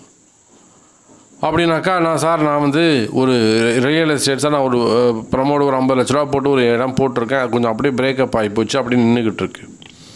நான் ஒரு சினிமா சார் ஒரு தொழிலில் ஒரு படம் எடுக்கிறதுக்காக முயற்சி பண்ணேன். எல்லாமே கைகூடி வந்துடுது ஆனால் அது பாதையிலே நிற்குது இல்லை அப்பா ஒப்பந்தம்லாம் கையெழுத்து போட்டுட்டா அதனால் வந்து இன்னும் ஷூட்டிங் ஆரம்பிக்கலை. சார் பொறுப்பு அரசியல் சார். எனக்கு வந்து நல்ல போஸ்டிங்லாம் போடுறேன்னு சொன்னாங்க. கடைசி நிமிஷத்தில் த மாறி போயிடுத்து. நீ கொஞ்சம் நல்லா ஒர்க் பண்ணு நான் உனக்கு வாங்கி தரேன்னு சொல்லியிருக்காங்க. அப்போது உங்களுக்கு தொழிலில் உத்தியோகத்தில் இருக்கக்கூடிய தடை காரிய தடை. அந்த காரிய தடை அப்படின்னு சொன்னாலே அந்த இடத்துல வந்து கர்மகாரகன் சனி சம்மந்தப்படுகிறார் உங்கள் ராசிநாதன் சம்மந்தப்படுகிறார் அங்கே ஏழரை சனி ஆரம்பிச்சிருக்கு. அதனுடைய அந்த ஏழரை சனி நடக்குது அப்படிங்கிறதுக்கு அது ஒரு இன்டிமேஷன் கும்பராசினியர்களுக்கு பாதி பேருக்கு நமக்கு ஏழரை சனி நடக்குது. அப்படியா? எங்களுக்கு ஏழரை சனியா? அப்படிங்கிறதே இன்னும் அது தெரியாமல் இருக்குது ஆகையினால கும்பராசிக்கு ஏழரை சனி ஆரம்பித்து நடந்துக்கிட்டு இருக்குது அதனுடைய வெளிப்பாடு தான் அது. அப்போ நீங்கள் வந்து என்ன பண்ணணுங்க? சிவபெருமான் வழிபாடு அதிகம் செய்ய வேண்டும். தினந்தோறும் சிவாலயம் செல்ல வேண்டும். தினந்தோறும் சிவாலயம் சென்று சிவபெருமானை வழிபாடு செய்யும் நந்தி சிவபெருமான் அம்பாள். இந்த மூணு பேரையும் ஒன்பது சுத்தாவது சுற்றி வந்து ஒரு நமஸ்காரத்தை பண்ணணும். நீங்கள் ஒன்றும் என்னுடைய ரெமெடி எல்லாமே உங்களுக்கு செலவே இருக்காது. நீங்கள் கல்பூரம் வாங்க வேணாம் அர்ச்சனை பண்ண வேணாம் பால் தேன் இளநீர் எதுவும் வாங்கி கொடுக்க வேணாம். நீங்கள் கோவில் வளம் வந்து நமஸ்காரம் செய்து பிரார்த்தனை செய்தாலே போதும் பெருமான் உங்களுக்கு அருள் புரிவார். இதை விட மகிழ்ச்சியான செய்தி என்ன வேணும்? இப்போ இந்த ஏழரை சனின்னு சொல்கிறோம் பொதுவாக இப்போது கும்பராசி நேயர்களே உங்களுக்கு உங்களுக்கு எல்லாருக்கும் ஒரு முக்கியமான செய்தி. இது என்னன்னு கேட்டிங்கனாக்கா நடைபெற இருக்கின்ற சனி பெயர்ச்சி. டிசம்பர் இருபத்தி ஏழாம் தேதி அன்றைய தினம் சனி பகவான் தனுசு ராசியிலிருந்து மகர ராசிக்கு பயிற்சி அடைகிறார். அவர் அந்த பயிற்சி அடைகின்ற காரணத்தை முன்னிட்டு பனிரெண்டு ராசி அன்பர்களுக்காகவும் அடியேன் உங்கள் தாம்பரம் ஈசனேசன் சுவாமிகள் ஒரு மிகப்பெரிய அளவில் சனி பயிற்சி பரிகார ஹோமம் பரிகார சங்கல்பம் பரிகார பூஜை. இந்த மூன்று விஷயங்களையும் செய்ய இருக்கின்றேன் தாம்பரத்தில் வச்சு தான் பண்ணுறேன் அது எந்த கோவில் எத்தனை மணிக்கு எந்த இடம் எப்போ அப்படிங்கிறத நான் பிறகு வேறொரு பதிவில் யூடியூப்லேயே போகிறேன் நீங்கள் பார்க்கலாம். ஆகவே இந்த சனி பயிற்சி பரிகார ஹோமத்தை அந்த பரிகார ஹோமத்தை வந்து எப்பயுமே என் கூட ஏற்கனவே இந்த ராகு கேது பயிற்சி குரு பயிற்சிக்கெலாம் கலந்துக்கிட்டவங்களுக்கு நன்றாகவே தெரியும். அது ரொம்ப சிறப்பாக ஒன்று ஒன்றும் அந்த காரண பொருளோட அது என்ன சாஸ்திரம் சொல்கிறதோ அதெல்லாம் மதித்து அது கேட்டார் போல தான் செய்திருப்போம். அதே போல தான் இந்த சனிப்பெயர்ச்சியும் சனிப்பெயர்ச்சி மிக மிக முக்கியமானது. அதுக்கு எப்படிலாம் ஃபார்மாலிட்டி உண்டோ அந்த எல்லா ஃபார்மா ஒரு ஒன்பது வகையான ஃபார்முலா இருக்குது அந்த ஒன்பது ஃபார்முலாவையும் ஃபாலோ பண்ணி தான் இந்த சனிப்பயிற்சி ஹோமத்தை நாங்கள் செய்ய இருக்கின்றோம். ஆகவே கும்பராசினியர்களே குறிப்பாக இந்த சினிமா துறையை சார்ந்தவர்கள் அரசியலில் ஈடுபட்டிருக்கக்கூடியவர் ரியல் எஸ்டேட் பில்டர் சம்பந்தப்பட்டவர்கள் கணவன் மனைவி ஒற்றுமை பிரிவு பிரிந்த கணவன் மனைவி ஒன்று சேருதல் திருமண தடை குழந்தை பாக்கியம் வேலைவாய்ப்பு. இந்த ஏழு தொழில் துறையை சம்பந்தப்பட்டவர்களும் கட்டாயம் பரிகாரம் செய்து கொள்வது மிக மிக அவசியம். இந்த ஏழு துறையை சார்ந்தவர்கள் கண்டிப்பாக பரிகாரம் செய்து கொள்ள வேண்டும். ஆகவே நீங்கள் அடியன் செய்யக்கூடிய அந்த பரிகாரத்தில் கலந்து கொள்ள வேண்டும் என்று சொன்னால் அந்த ஸ்க்ரீனில் தெரிகிற இந்த நம்பருக்கு ஃபோன் போட்டு உங்களுடைய பெயரை பதிவு செய்து கொள்ளவும். பிறகு அதுக்கான கட்டணத்தை செலுத்தி முடிஞ்சால் நேரில் வந்து கலந்துக்கலாம். எல்லாராலையும் நேரில் வந்து கலந்துக்க முடியாது. ஏன்னா நிறைய பேர் வெளிநாட்டில் இருக்காங்க. அவங்களாம் லைவ் பார்க்கலாம். ஏற்கனவே அந்த என்னென்ன என்னிடத்திலே அந்த குரு பயிற்சி ராகுகேது பயிற்சி பரிகாரம் செய்தவங்களுக்கு என்ன ஃபார்முலாங்கிறது எல்லாருக்குமே உங்களுக்கு தெரியும். அக்கௌண்ட் நம்பர் இருக்கும். நீங்கள் அதை பைசா போட்டு கட்டணம் செலுத்தி உங்களுக்கான பரிகார பூஜையில் நீங்கள் கலந்து கொள்ளலாம். கண்டிப்பாக கும்பராசி அன்பர்கள் கலந்து கொள்ள வேண்டும். ஓகேவா அப்போ தான் அந்த ஏழரை சனியுடைய தாக்கம் உங்களுக்கு குறையும். சரி. அடுத்ததாக குடும்ப துறை குடும்பத்தை பொறுத்தவரையிலே குடும்பம் எப்படி சாமி இருக்கும் அப்படின்னு கேட்டிங்கனாக்கா குடும்பத்தை பொறுத்தவரையில் குடும்பத்தில் மகிழ்ச்சி அதிகரிக்கும். அதே சமயத்தில் வீட்டில் பெரியவங்க இருந்தால் அப்பா அம்மா பேரண்ட்ஸு மாமனார் மாமியார் சித்தி பாட்டி தாத்தா இந்த மாதிரி வயோதிக பருவத்தில் எவரையும் இருப்பிய இருப்பார்கள் ஆனால் அவர்களுக்கான ஹாஸ்பிட்டல் செலவு ஆஸ்பத்திரி செலவு அதிகரிக்கும். ஆமாம் ஆமாம் சாமி எங்கள் வீட்டில் அப்படி தான் சாமி ஆச்சு. ஆமாம் அப்படி தான் இருக்கும் உங்களுக்கு. கரெக்டு உட்காருங்க உட்காருங்க உட்காருங்க. குடும்பஸ்தானத்தில் இருக்கக்கூடியவர்களுக்கு சுமைகள் அதிகரிக்கும். அவங்கள கவனிச்சுக்கணும். வேளா வேலைக்கு தேவையான செய்து கொடுக்கணும். பணிவிடை செய்ய வேண்டும். அதற்கான பொறுப்புகள் அதிகரிக்கும். வயதானவர்கள் குழந்தைக்கு சமமானவர்கள் அதனால் அந்த குழந்தைக்கு அப்பப்போ தேவையானது எடுத்து செய்யணும். பொறுப்புகள் அதிகரிக்கும். ரெஸ்பான்சிபிலிட்டி அதிகம். ஒர்க்கு பேர்டனும் அதிகம். சரியா? அதனால் வந்து அவங்க இந்த ஹாஸ்பிட்டல் செலவு அதிகரிக்கும். அப்போ வந்து விரயம் இருக்குதுன்னு சொல்லலாம். இல்லை ஒரு செலவுன்னு சொல்லலாம். இல்லை உங்கள் கடமைன்னு சொல்லலாம். குடும்பஸ்தானத்தில் இதுதான் இதுதான் மகிழ்ச்சி இதுதான் செய்தி. அந்த விஷயத்தில் நீங்கள் கவனமாக நடந்து கொள்ளுங்கள். வேறு எதுவும் நான் உங்களுக்கு அந்த இடத்துல சொல்கிறதுக்கு இல்லை. ஓப்பனாக நான் உங்களுக்கு சொல்லிட்டேன். ஜாக்கிரதையாக இருங்க அடுத்ததாக கணவன் மனைவி ஒற்றுமை. கணவன் மனைவி ஒற்றுமையை பொறுத்தவரையில் ஏன்னா எல்லாத்தையுமே ஒரு யதார்த்தமாக சொன்னால் தான் ப்ராக்டிக்கலாக வாழ்நாளில் நீங்கள் என்ன நடக்குதோ என்ன நடக்கு உங்களுக்கு நடக்குமோ அதை தான் நான் உங்களுக்கு சொல்கிறேன் சரிங்களா? படாடவமோ இல்லை ஒளிவு மறைவோ இல்லாமல் அது ரொம்ப ஓப்பனாக உங்களுக்கு சொல்லிகிட்டு இருக்கேன் நான். இதுதான் முக்கியம். ஆகையினால கணவன் மனைவி ஒற்றுமையை பொறுத்தவரையிலே உங்கள் ராசிக்கு ஏழுக்குடையவன் சூரியன்.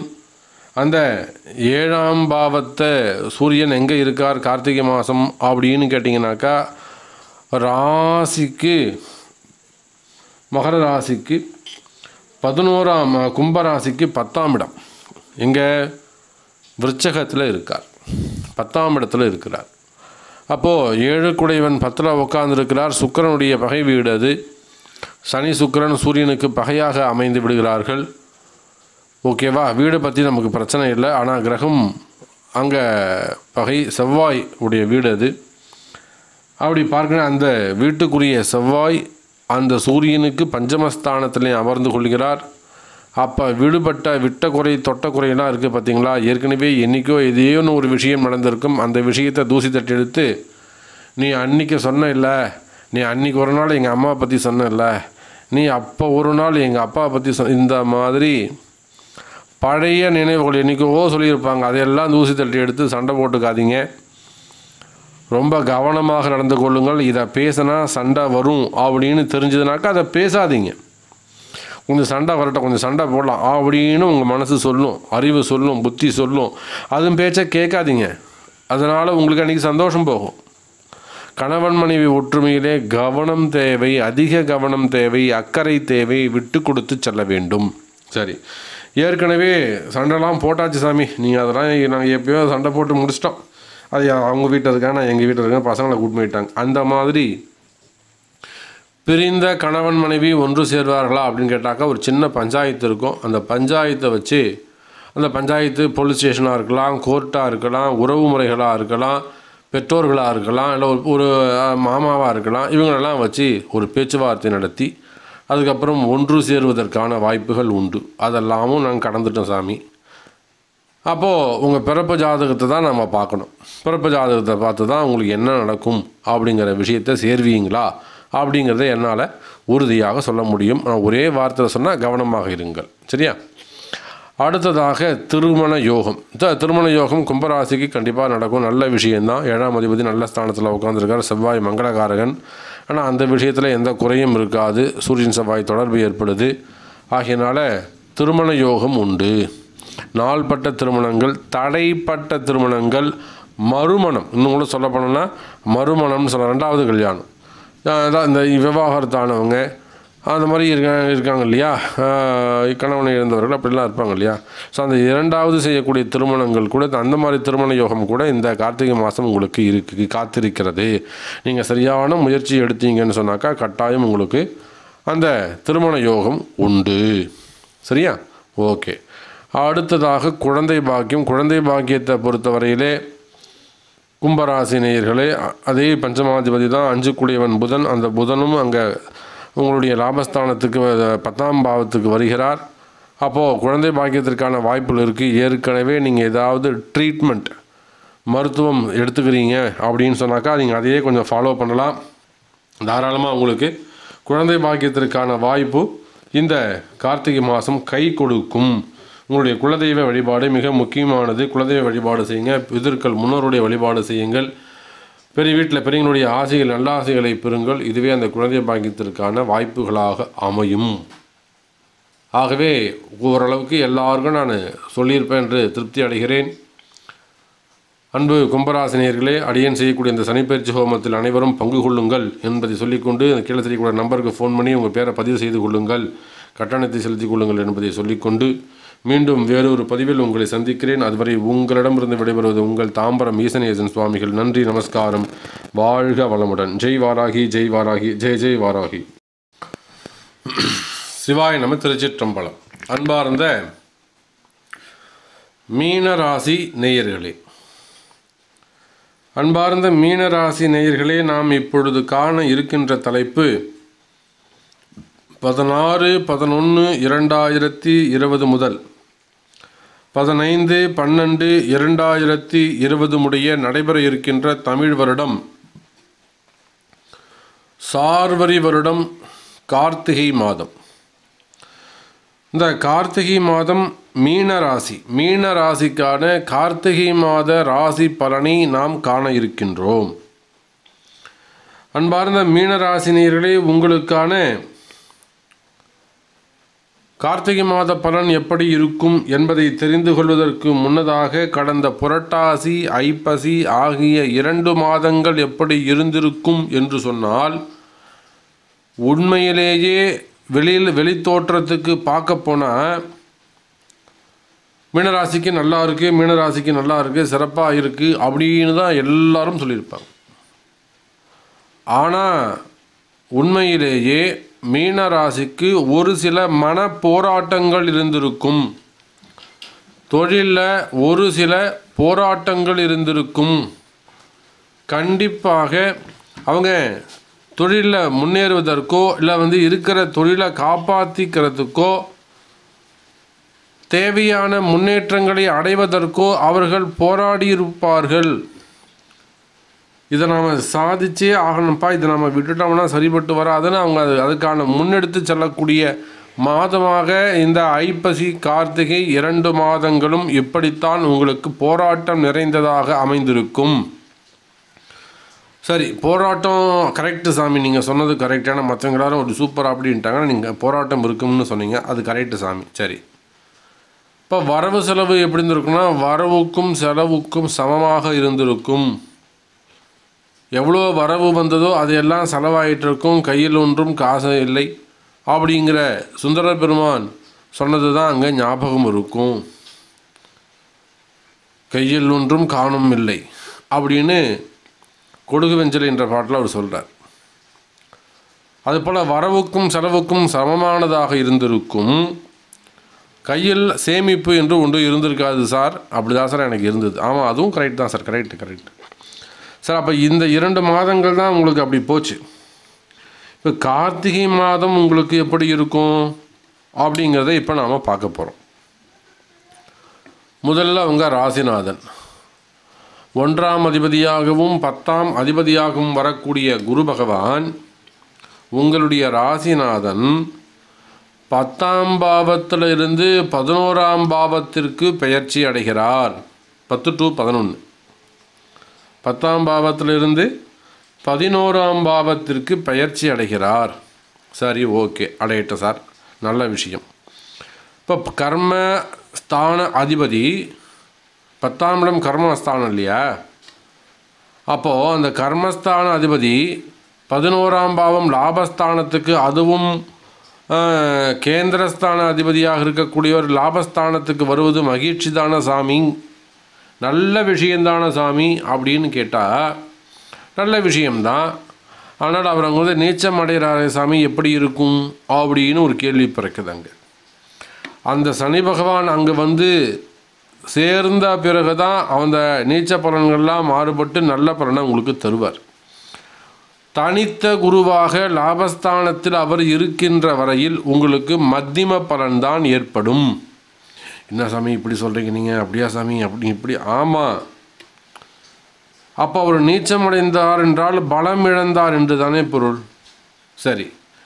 அப்போ அவர் பலம் எப்போ வரும்? அந்த ராசிநாதன் அங்கே வந்து அமர்கின்ற பொழுது தான் அந்த ராசிநாதன் ஒரு பலத்தை அவருக்கு கொடுப்பார். அப்போ தான் அது நீச்ச பங்கமாகும் அதுவரை அங்கே தனித்த குரு தான் அப்போ இந்த கார்த்திகை மாதம் மீனராசி அன்பர்களுக்கு எப்படி இருக்கும் என்று சொன்னால் எல்லாமே கண்ணுக்கு தெரியும் ஆனால் அதை வந்து பார்க்க முடியும் ஆனால் அதை வந்து எடுத்து அனுபவிக்க முடியாது. ஒரு பெரிய ஹோட்டலுக்கு போகிறீங்க தேவையானதெல்லாம் ஆர்டர் பண்ணிடுறீங்க டேபிளுக்கு கொண்டு வந்து வச்சிடறாங்க கண்ணால் பார்க்குறீங்க ஆனால் சாப்பிட முடியல வயிறு சரிங்க திடீர்னு. அப்போ பார்க்க முடியுது ருசிக்க முடியல. இதை போல தான் இந்த கார்த்திகை மாதத்தை பொறுத்தவரையில் செய்தொழிலாகட்டும் வர்த்தகமாகட்டும் வியாபாரமாகட்டும் நன்றாக இருக்கும். வரவு செலவு அதிகரிக்கும். ஆனாலும் அதிலிருந்து வரக்கூடிய லாபத்தை உங்களால் அனுபவிக்க முடியாது. ஒன்று அதை வந்து வேறு ஒரு முதலீட்டுக்காக திருப்பி விடுவீங்க. இல்லைனா வேறு எங்கேயாவது கொடுக்க வேண்டிய விஷயம் இருந்தால் அங்கே கொடுத்து முடிப்பீங்க. இந்த பணம் வருது இது இங்கே தான் போனோம்னு வருவதற்கு முன்னதாகவே அதுக்கு செலவு கணக்கை நோட் பண்ணி வச்சுருப்பீங்க. எழுதி வச்சுருப்பீங்க. ஆகவே இந்த கார்த்திகை மாதம் ஒரு ஒரு துறைக்கு எப்படி இருக்கும் அப்படிங்கிறத வரிசையாக உங்களுக்கு சொல்கிறேன் நீங்கள் கேட்டுக்கோங்க. முதல்ல தொழில் துறையை சார்ந்தவர்கள். தொழில்னா என்ன தொழில்? எல்லாமே வர்த்தகம் அப்படின்னு சொல்லிட்டா மிகப்பெரிய தொழிற்சாலைகளில் இருந்து ஒரு பத்தாயிரம் பேர் வேலை ஒரு ஷிஃப்ட்டுக்கு மூணாயிரம் பேர் வேலை செய்கிறாங்க மூணு ஷிஃப்ட்டு அந்த கம்பெனின்னு வச்சுக்கோங்களேன். ஒரு பத்தாயிரம் பேர் வேலை செய்கிறாங்க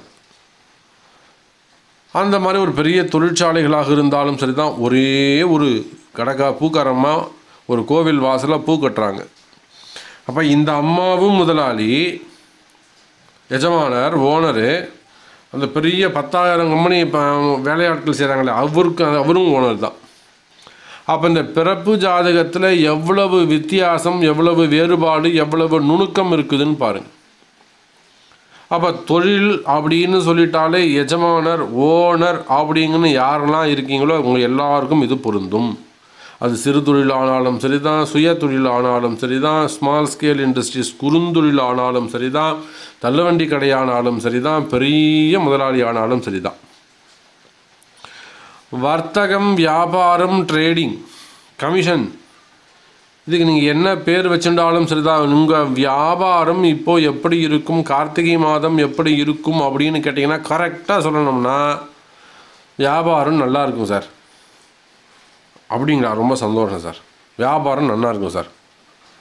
உங்களை உங்கள்கிட்ட நம்பி இருக்கக்கூடிய வேலையாட்களுக்கு நீங்கள் முழுமையாக வேலை கொடுப்பீங்க சார். ஒரு இருபது நாள் வேலையாவது கொடுப்பீங்க சார். சார் அது போகிறோம் சார். நான் பட்னியாக இருந்தால் கூட பரவாயில்ல. என்கிட்ட வேலை செய்கிறவங்க முதல்ல திருப்தியாக அவனுக்கு சம்பளத்தை கொடுக்கணும் சார். நான் விடு விட்டு விட்டு கொடுத்துன்னு வரேன். அதுவே எனக்கு பெரிய மனசு கஷ்டமாக அதை நீங்கள் இந்த வாட்டி செய்வீங்க. சரி சார் அப்போ அதுலேருந்து ஏதாவது கொஞ்சம் வீட்டுக்கு எட்டு வர முடியுமா? சார் கம்முன்னு இருங்க சார். அங்கேயே சரியாக போயிடும் சார் அது. இதுதான் நடக்கும். புரியுதா? வரவு செலவு அதிகரிக்கும். வியாபாரம் நன்றாக இருக்கும். எங்கே இருக்கும் அங்கே வந்து எல்லாமே செலவாயிடும். உங்களை கவனிச்சுக்கிறதுக்கு குறைவானதாக இருக்கும்.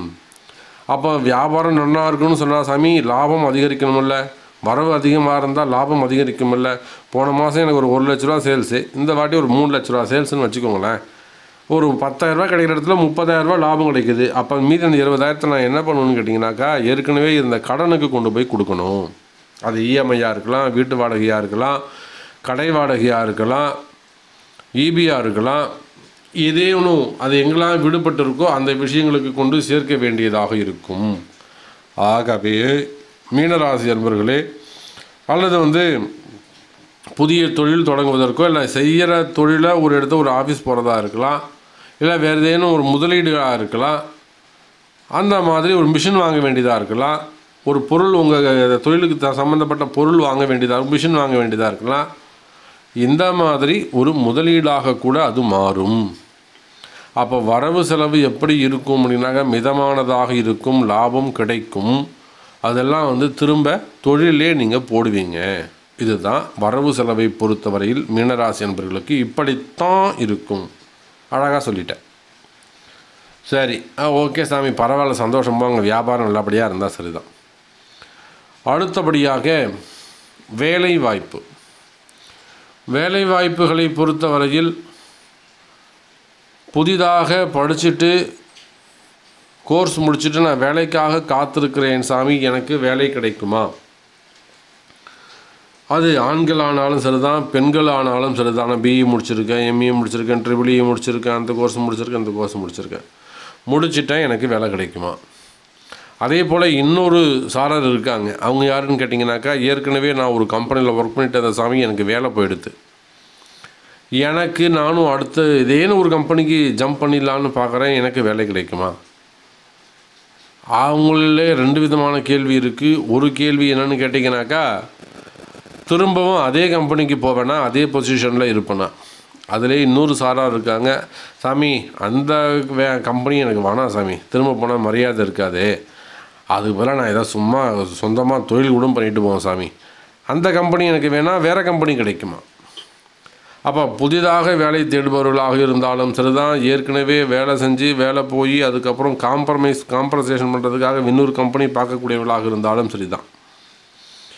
நீங்கள் நினைக்கின்ற அளவுக்கு சமமான வெ- உத்தியோகம் கிடைப்பது சிரமம். சுவாமி வேலை கிடைக்காதா?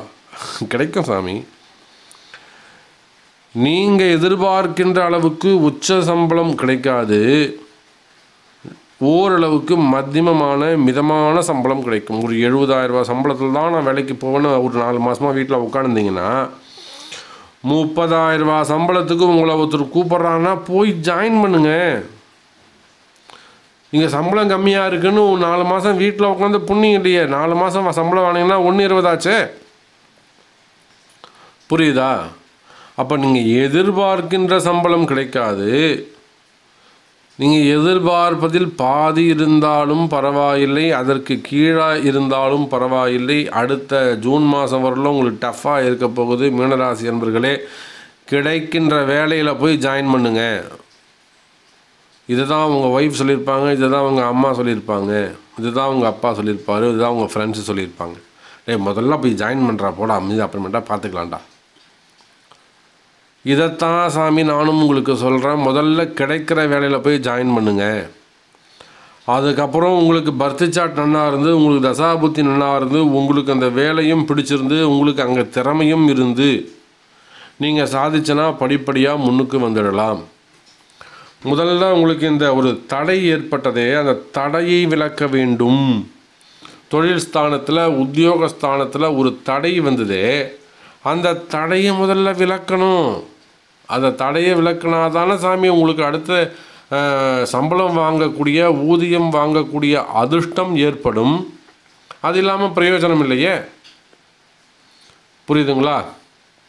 ஆகையினால சம் குறைவான சம்பளம் கிடைச்சாலும் நீங்கள் அந்த விஷயத்துக்கு போய் சேருங்க. அதே போல் வேலை வாய்ப்பில் இன்னொரு சாராக இருக்காங்க. சாமி நான் வந்து சுய தொழில் ஆரம்பிக்கலாமல் வேலை போய் எடுத்து நான் வந்து சுய தொழில் ஆரம்பிக்கலாமா அப்படின்னு ஒரு சிலர் கேட்குறாங்க சுய தொழில்னால் எப்படி? அப்படின்னு பார்த்தீங்கன்னாக்கா எனக்கு இது கிடையவே கிடையாது சாமி. அந்த அனுபவமே கிடையாது. நான் விவசாயம் பண்ணலாமான்னு கேட்குறாங்க பண்ணை வைக்கலாமான்னு கேட்குறாங்க ஊருக்கு வந்துடலாமான்னு கேட்குறாங்க என்னென்னவோ வித்தியாசமான கேள்விகள்லாம் பர்த் சாட்டை கொண்டு வராங்க. எனக்கே ரொம்ப சிரமமாக இருக்குது நான் அவங்களுக்குலாம் சார் நீங்கள் முதலாளி முதலீடு போட்டிங்கனாக்கா திரும்ப உங்களுக்கு போட்ட முதலீடை எடுக்க முடியும். நீங்கள் தாக்கு பிடிப்பீங்கன்னா மட்டும்தான் உங்களுக்கு நான் அது பர்மிஷன் கொடுப்பேன். சரிங்க சார் செய்யுங்க சார் பரவாயில்ல சார்னு சொல்லுவேன் இல்லைனா ஐயா உங்கள் கை கீழே இருக்கட்டும் வாங்குற தகுதி தான் உங்களுக்கு இருக்குது போய் ஏதாவது ஒரு கம்பெனிக்கு வேலை செய்யுங்கன்னு தான் சொல்லிவிடுவேன் அதனால் இதெல்லாம் அவங்க பிறப்பு ஜாதகத்தை கொண்டு தான் முடிவு செய்ய முடியும். சரி. அதே போல் அரசாங்க உத்தியோகம் செய்யக்கூடியவர்கள் அது அரசாங்க வேலையானாலும் சரி தான் தனியார் வேலையானாலும் சரி தான் இல்லை அரசாங்கம் துறை சார்ந்த தொழில் செய்யக்கூடியவர்கள் டெண்டர் எடுக்கக்கூடியவங்க ரோடு கான்ட்ராக்டு அந்த பில்டிங் கான்ட்ராக்டு இன்னும் என்னெல்லாம் அரசாங்க கான்ட்ராக்ட்லாம் செஞ்சு கொடுக்கக்கூடியவங்க இவங்க யாராக இருந்தாலும் ஏற்கனவே வேலை செஞ்சுக்கிட்டு இருக்காங்க. எங்களுக்கு எப்படி சாமி இருக்கும்? நீங்களாம் ரொம்ப கவனமாக இருக்கணும். முதலாளிகளை அனுசரித்து போகணும் மேலதிகாரிகளை அனுசரித்து செல்ல வேண்டும் மேனேஜராக நல்லா அட்ஜஸ்ட் பண்ணிட்டு போகணும் திட்டு வாங்காமல் பார்த்துக்கணும். அரசாங்க உத்தியோகம் செய்பவர்களாக இருந்தால் கண்டிப்பாக மேலதிகாரிகளை ஆஃபீஸர்ஸை கைக்குள்ளே போட்டுக்கணும் வேறு வழியே கிடையாது. அதிலும் குறிப்பாக கவர்மெண்ட்டு வேலை செய்யக்கூடியவங்களுக்கு பணி சுமை அதிகரிக்கும் பணி செய்யக்கூடிய நேரம் அதிகரிக்கும். உண்டா இல்லையா? கை தூக்குங்க. காலை எட்டு மணிக்கு போ ஒம்பது மணிக்கு பத்து மணிக்கு ஆஃபீஸ்னு சொல்லுவாங்களே தவிர எட்டு மணிக்கு நீங்கள் போய் சேரில் உட்காந்துருவீங்க ஆறு மணிக்கு அஞ்சு மணிக்கு முடியுதுன்னு சொன்னால் எட்டு மணி வரலும் சேரில் உட்காந்துருப்பீங்க பணி சுமை அதிகரிக்கும். குறிப்பாக அரசியல்வாதிகளால் உங்களுக்கு பணிச்சுமை அதிகரிக்கும். ஒர்க் லோடு வரும். அந்த வார்டை போய் பார்த்தியா? இங்கே போய் பார்த்துட்டு இந்த ஒர்க்கு கொடுத்தனே செஞ்சு முடிச்சிட்டியா? அதை போய் பாஸ் பண்ணிட்டியா? அந்த பில்லை போட்டுட்டியாச்சா? அப்படின்னு அவங்கவுங்கள ஒரு பக்கம் வேலை வாங்குவாங்க. ஒரு பக்கம் அதிகாரிகள் வேலை வாங்குவாங்க. ஒரு பக்கம் அரசியல் தலையீடுகள் இருக்கும். பணி சுமை அதிகரிக்கும். அப்போ நீங்கள் கவனமாக நடந்து கொள்ள வேண்டும். சரியா? இப்போது அடுத்தபடியாக அரசியலில் இருக்கக்கூடியவர்கள் சினிமா துறையை சார்ந்தவர்கள் அதே போல் ரியல் எஸ்டேட் பில்டர்ஸ் சம்மந்தப்பட்ட வேலை செய்யக்கூடியவர்கள். இவங்களுக்கெல்லாம் எப்படி இருக்கும்? அப்படின்னு கேட்டிங்கனாக்கா ரியல் எஸ்டேட் நன்றாக இருக்கும். கார்த்திகை மாதத்தில் சந்தேகங்களில் புதிய ஒப்பந்தங்கள் கையெழுத்தாகும். நீங்கள் வந்து புதிய பில்டர்ஸ் கட்டுறதா இருந்தால் புதிய பில்டிங் கட்டி கொடுக்கக்கூடிய வாய்ப்புகள் ஏற்படும். அதே போல் ஏற்கனவே லேண்ட் ப்ரமோட்டர்ஸ்லாம் இருந்தாங்கனாக்கா அவங்க தடைப்பட்டு இருந்தது பிளாட்ஸ்லாம் எதுவும் சரியாக விற்கல சார் அப்படின்னு சொன்னீங்கனாக்கா இந்த வாட்டி கண்டிப்பாக புக்கிங் இருக்கும். அதே போல் சினிமா துறையை சார்ந்தவர்கள் சார் ரொம்ப நாளாகுது சார். இதேனும் ஒரு சைடு கேரக்டராக பண்ணிடலாம் அப்படின்னு பார்க்குறேன். இல்லை சார் ஒரு ஒரு சாங் எடுக்கணும் ஒரு டேரக்டராக இருக்கணும் நான் ஒரு மியூசிக் டைரக்டர் அந்த மாதிரி எந்த இடத்தில் நீங்கள் இருந்தாலும் உங்களுக்கு இந்த மாதம் ஏதேனும் ஒரு ஊதியம் கிடைக்கும். ஒரு புதிய வாய்ப்புகள் வரும் புதிய ஒப்பந்தமாகும். சரியா? ஆமாம் இந்த மூன்று துறைகளுக்குமே நல்ல எதிர்காலம் போக போக நல்ல சிறப்பானதாக இருக்கும். கடந்த ஒன்பது மாதம் கசப்பான மாதமாக இந்த மூணு நபர்களுக்குமே அப்படி தான் இருக்கும். அரசியல் சினிமா ரியல் எஸ்டேட் இந்த மூணு பேருக்குமே கசப்பான மாதங்களாக இருந்திருக்கும். அந்த கசப்பை மறந்து இனி வரும் காலம் எதிர்காலம் சிறப்பான மாதமாக அமையுங்கிற மங்கள சொல்லே உங்களுக்கு நான் வாழ்த்துகிறேன். அடுத்ததாக குடும்பஸ்தானம்.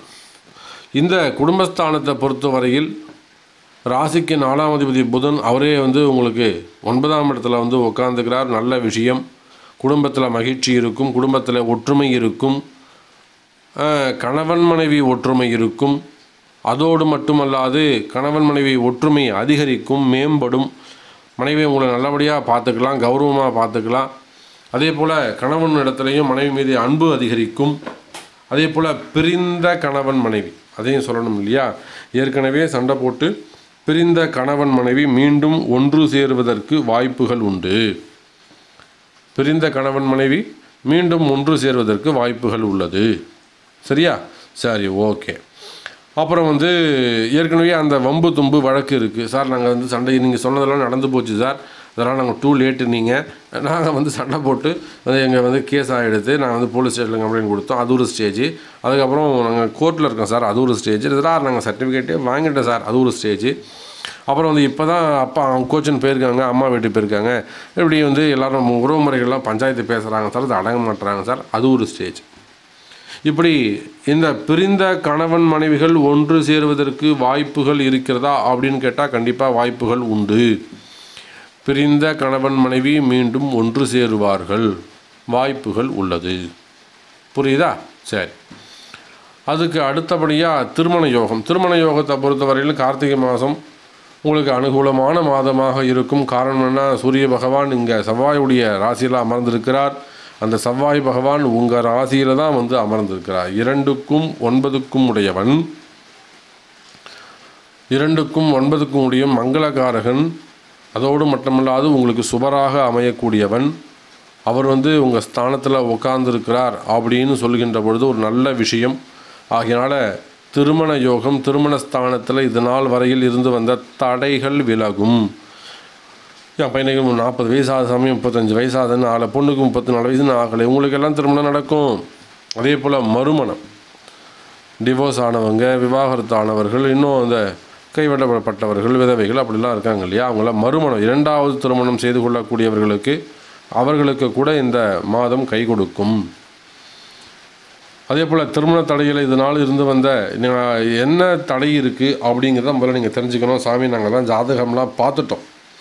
போகாத கோவில் இல்லை ஏற்றாத விளக்கு இல்லை அந்த கோயில் இந்த கோயில் எல்லா கோயிலும் போ போயிட்டு வந்துட்டோம். அந்த ஜோசியர் சொன்னார் இந்த ஜோசியர் சொன்னார். ஆனாலும் ஏன் நடக்கலை? அதுதான் சாமி எங்களுக்கு தெரியல. அதுதான் விஷயம். நீங்கள் இன்னும் சரியான ஜோசியர்கிட்ட போகலை. சரியான தோஷம் எதுன்னு கண்டுபிடிக்கல. முதல்ல அது கண்டுபிடிச்சி அது விலக்கி ஆகணும். பருத்தி சாட்டை கொண்டு வாங்க. அது என்னன்றதை பார்ப்போம். அதனால் திருமண தடை விலகும். ஒரு அற்புதமான காலம் இருக்குது சரியான நேரத்தில் பரிகாரத்தை செய்து கொள்ளுங்கள். அதே போல் குழந்தை பாக்கியம். குழந்தை பாக்கியத்தை பொறுத்தவரை அஞ்சாம் அதிபதியாக வரக்கூடிய சந்திர பகவான். அவர் திரிலோக செஞ்சாரி அவரை நம்ம ஒன்றுமே சொல்ல முடியாது சொன்னால் கோச்சிப்பார். ஆனால் அந்த ஏழாம் பாவம் தான் குரு பார்க்க இருக்கின்றார். அதனால் குழந்தை பாக்கியம் குரு பார்க்க கோடி நன்மை. அதனால் இந்த இன்னும் ஒரு வருஷம் குழந்தை பாக்கியத்திற்கான அற்புதமான காலம் மீனராசி என்பவர்களுக்கு நல்ல அனுகூலமான காலம் அனுகூலமான நேரம். இந்த நேரத்தை கண்டா கட்டாயம் மீனராசி என்பவர்கள் பயன்படுத்தி கொள்ள வேண்டும். நீங்கள் இதை இதுக்காக ஏற்கனவே ஏதேனும் ட்ரீட்மெண்ட் எடுக்கிறதாக இருந்தாலும் சரிதான் மருத்துவம் பார்த்துக்கிறதாக இருந்தாலும் சரிதான் பரிகாரம் பண்ணுறதாக இருந்தாலும் சரிதான். கண்டிப்பாக பண்ணுங்கள் ஒரு நல்ல ஜோசியரை பார்த்து உங்கள் ரெண்டு பேருடைய ஜாதகத்தையும் கொடுத்து யார் ஜாதகத்தில் குற்றம் இருக்குது ரெண்டு பேர் ஜாதகத்துலையும் குற்றம் இருக்கா இல்லை கவுண்ட்டு கம்மியாக இருக்கா அது வந்து என்ன க்ரோத் இல்லையா என்ன விஷயம் அப்படிங்கிறத ஜாதகத்தை பார்த்தாலே தெரிஞ்சிடும் ஸோ அதெல்லாம் பார்த்து பரிகாரத்தை செய் அது உரிய பிராயச்சித்தம் பரிகாரத்தை செய்து கொண்டு குழந்தை பாக்கியத்தை பெற வேண்டும் என்று நான் வாழ்த்துகிறேன். இதெல்லாம் வந்து கர்மா. இதெல்லாம் வாங்கிட்டு வந்த வரம். இதுக்கெல்லாம் தான் அந்த கோச்சாரங்கள் பிரகாரம் அந்தந்த கிரகங்கள் போகின்ற பொழுது அந்த பரிகாரம் பிராயச்சித்தம்லாம் நம்ம செய்திக்கிறோம் ஏன்னா இப்போ இப்போ கூட அந்த குரு பயிற்சி நடந்தது. இப்போ முக்கியமாக மீனராசி என்பவர்களுக்கு சொல்லிக்கொள்ள வேண்டியது என்னன்னு கேட்டிங்கனாக்கா அடியேன் உங்கள் தாம்பரம் ஈசனேசன் சுவாமிகள் வருகின்ற டிசம்பர் இருபத்தி ஏழாம் தேதி நடைபெற இருக்கின்ற சனி பெயர்ச்சியை முன்னிட்டு சனி பெயர்ச்சி பரிகார சங்கல்பம் பரிகார பூஜை பரிகார ஹோமம் இந்த மூன்று விஷயத்தையும் தாம்பரத்தில் வச்சு செய்வதாக முடிவு செய்திருக்கிறேன். எந்த இடம் எந்த நேரம் அப்படிங்கிறத மட்டும் பிறகு நான் உங்களுக்கு தெரிவிக்கிறேன். அதை வந்து முடிஞ்ச அளவுக்கு லைவ் போடுவதற்கும் நான் முயற்சி செய்கிறேன். நான் கேட்டிருக்கேன். அதனால் வந்து அவங்களும் இன்னும் பேசணும் அதை பற்றி ஸோ லைவ் போடுறதுக்கு லைவ் போடுறதுக்கு முயற்சி செய்கிறேன். இந்த அரசியலில் ஈடுபட்டிருக்கக்கூடியவர்கள் சினிமா துறையை சார்ந்தவர்கள் தொழில்துறை சுயதொழில் அல்லது வந்து பில்டர் சம்பந்தப்பட்டவர்கள் குடும்பம் குடும்ப பிரச்சனை உள்ளவர்கள் கணவன் மனைவி ஒற்றுமை பிரிவு சம்பந்தப்பட்டவர்கள் குழந்தை பாக்கியம் திருமணத் தடை. இந்த ஏழு விதமான அன்பர்கள் கட்டாயம் இந்த சனிப்பெயர்ச்சி பரிகார சங்கல்பம் பரிகார பூஜை பரிகார ஹோமத்தில் கட்டாயம் கலந்து கொள்ள வேண்டும். ஏன்னா ஏற்கனவே உங்களுக்கு தெரிஞ்சிருக்கும் என்னோட ட்ராவல் பண்ணவங்க என்னோட பழகக்கூடியவர்கள் என்னுடைய கஸ்டமருக்கு தெரிஞ்சிருக்கும். உலகம் முழுவதும் இருக்கிறார்கள். இந்த ஏற்கனவே ராகுகேது பயிற்சி செய்து கொடுத்துருக்கேன். குரு பயிற்சி செய்து கொடுத்துருக்குறேன். அதுபோல் தான் இந்த சனி பயிற்சியும் செய்ய போகிறேன் நீங்கள் உலகத்தில் எந்த மூலையில் வேண்டுமானாலும் இருக்கலாம். உட்காந்த இடத்துல நீங்கள் லைவ் பார்க்கலாம். அதுக்கான கட்டணத்தை செலுத்தி கட்டாயம் இந்த சனிப்பெயர்ச்சினா ஒரு ஒன்பது விதமான ஃபார்முலா வச்சு இதை இப்படித்தான் செய்யணும் இப்படி தான் நடந்துக்கணும் அப்படி இந்த மாதிரி தான் பூஜை இருக்கணும் அப்படிங்கிறதெல்லாம் செயல்படுத்த போகிறேன் ஆகையினால ரொம்ப கரெக்டாக செய்யலாம்னு முடிவு பண்ணியிருக்கிறேன். ஆகையினாலே மீனராசி என்பர்களே கட்டாயம் இந்த கீழே தெரியக்கூடிய அந்த நம்பருக்கு ஃபோன் செய்து உங்களுடைய பெயரை பதிவு செய்து கொண்டு கட்டணத்தை செலுத்தி நாங்கள் இந்த இடத்துலேருந்து பேசுகிறோம் இந்த சனி பேச்சு ஹோமத்துக்கு இங்கே கலந்துக்கோங்க பூஜைக்கு கலந்துக்கோங்க பேரை எழுதிக்கோங்க சங்கல்பத்துக்கு பேரை எழுதிக்கோங்க உங்கள் பேரை பதிவு செய்து கொண்டு எல்லாம் வல்ல சனி பகவானுடைய பெரும் கருணைக்கு பாத்திரமாக வேண்டும். அவருடைய கொடுமையான பார்வையிலிருந்து விலக வேண்டும் என்று வாழ்த்துகிறேன்.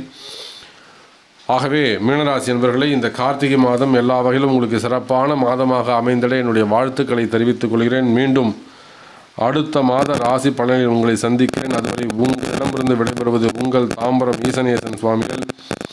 நன்றி ஆசீர்வாதங்கள் நல்வாழ்த்து நமச்சிவாயம். ஜெய் வாராகி ஜெய் வாராகி ஜெய் ஜெய் வாராகி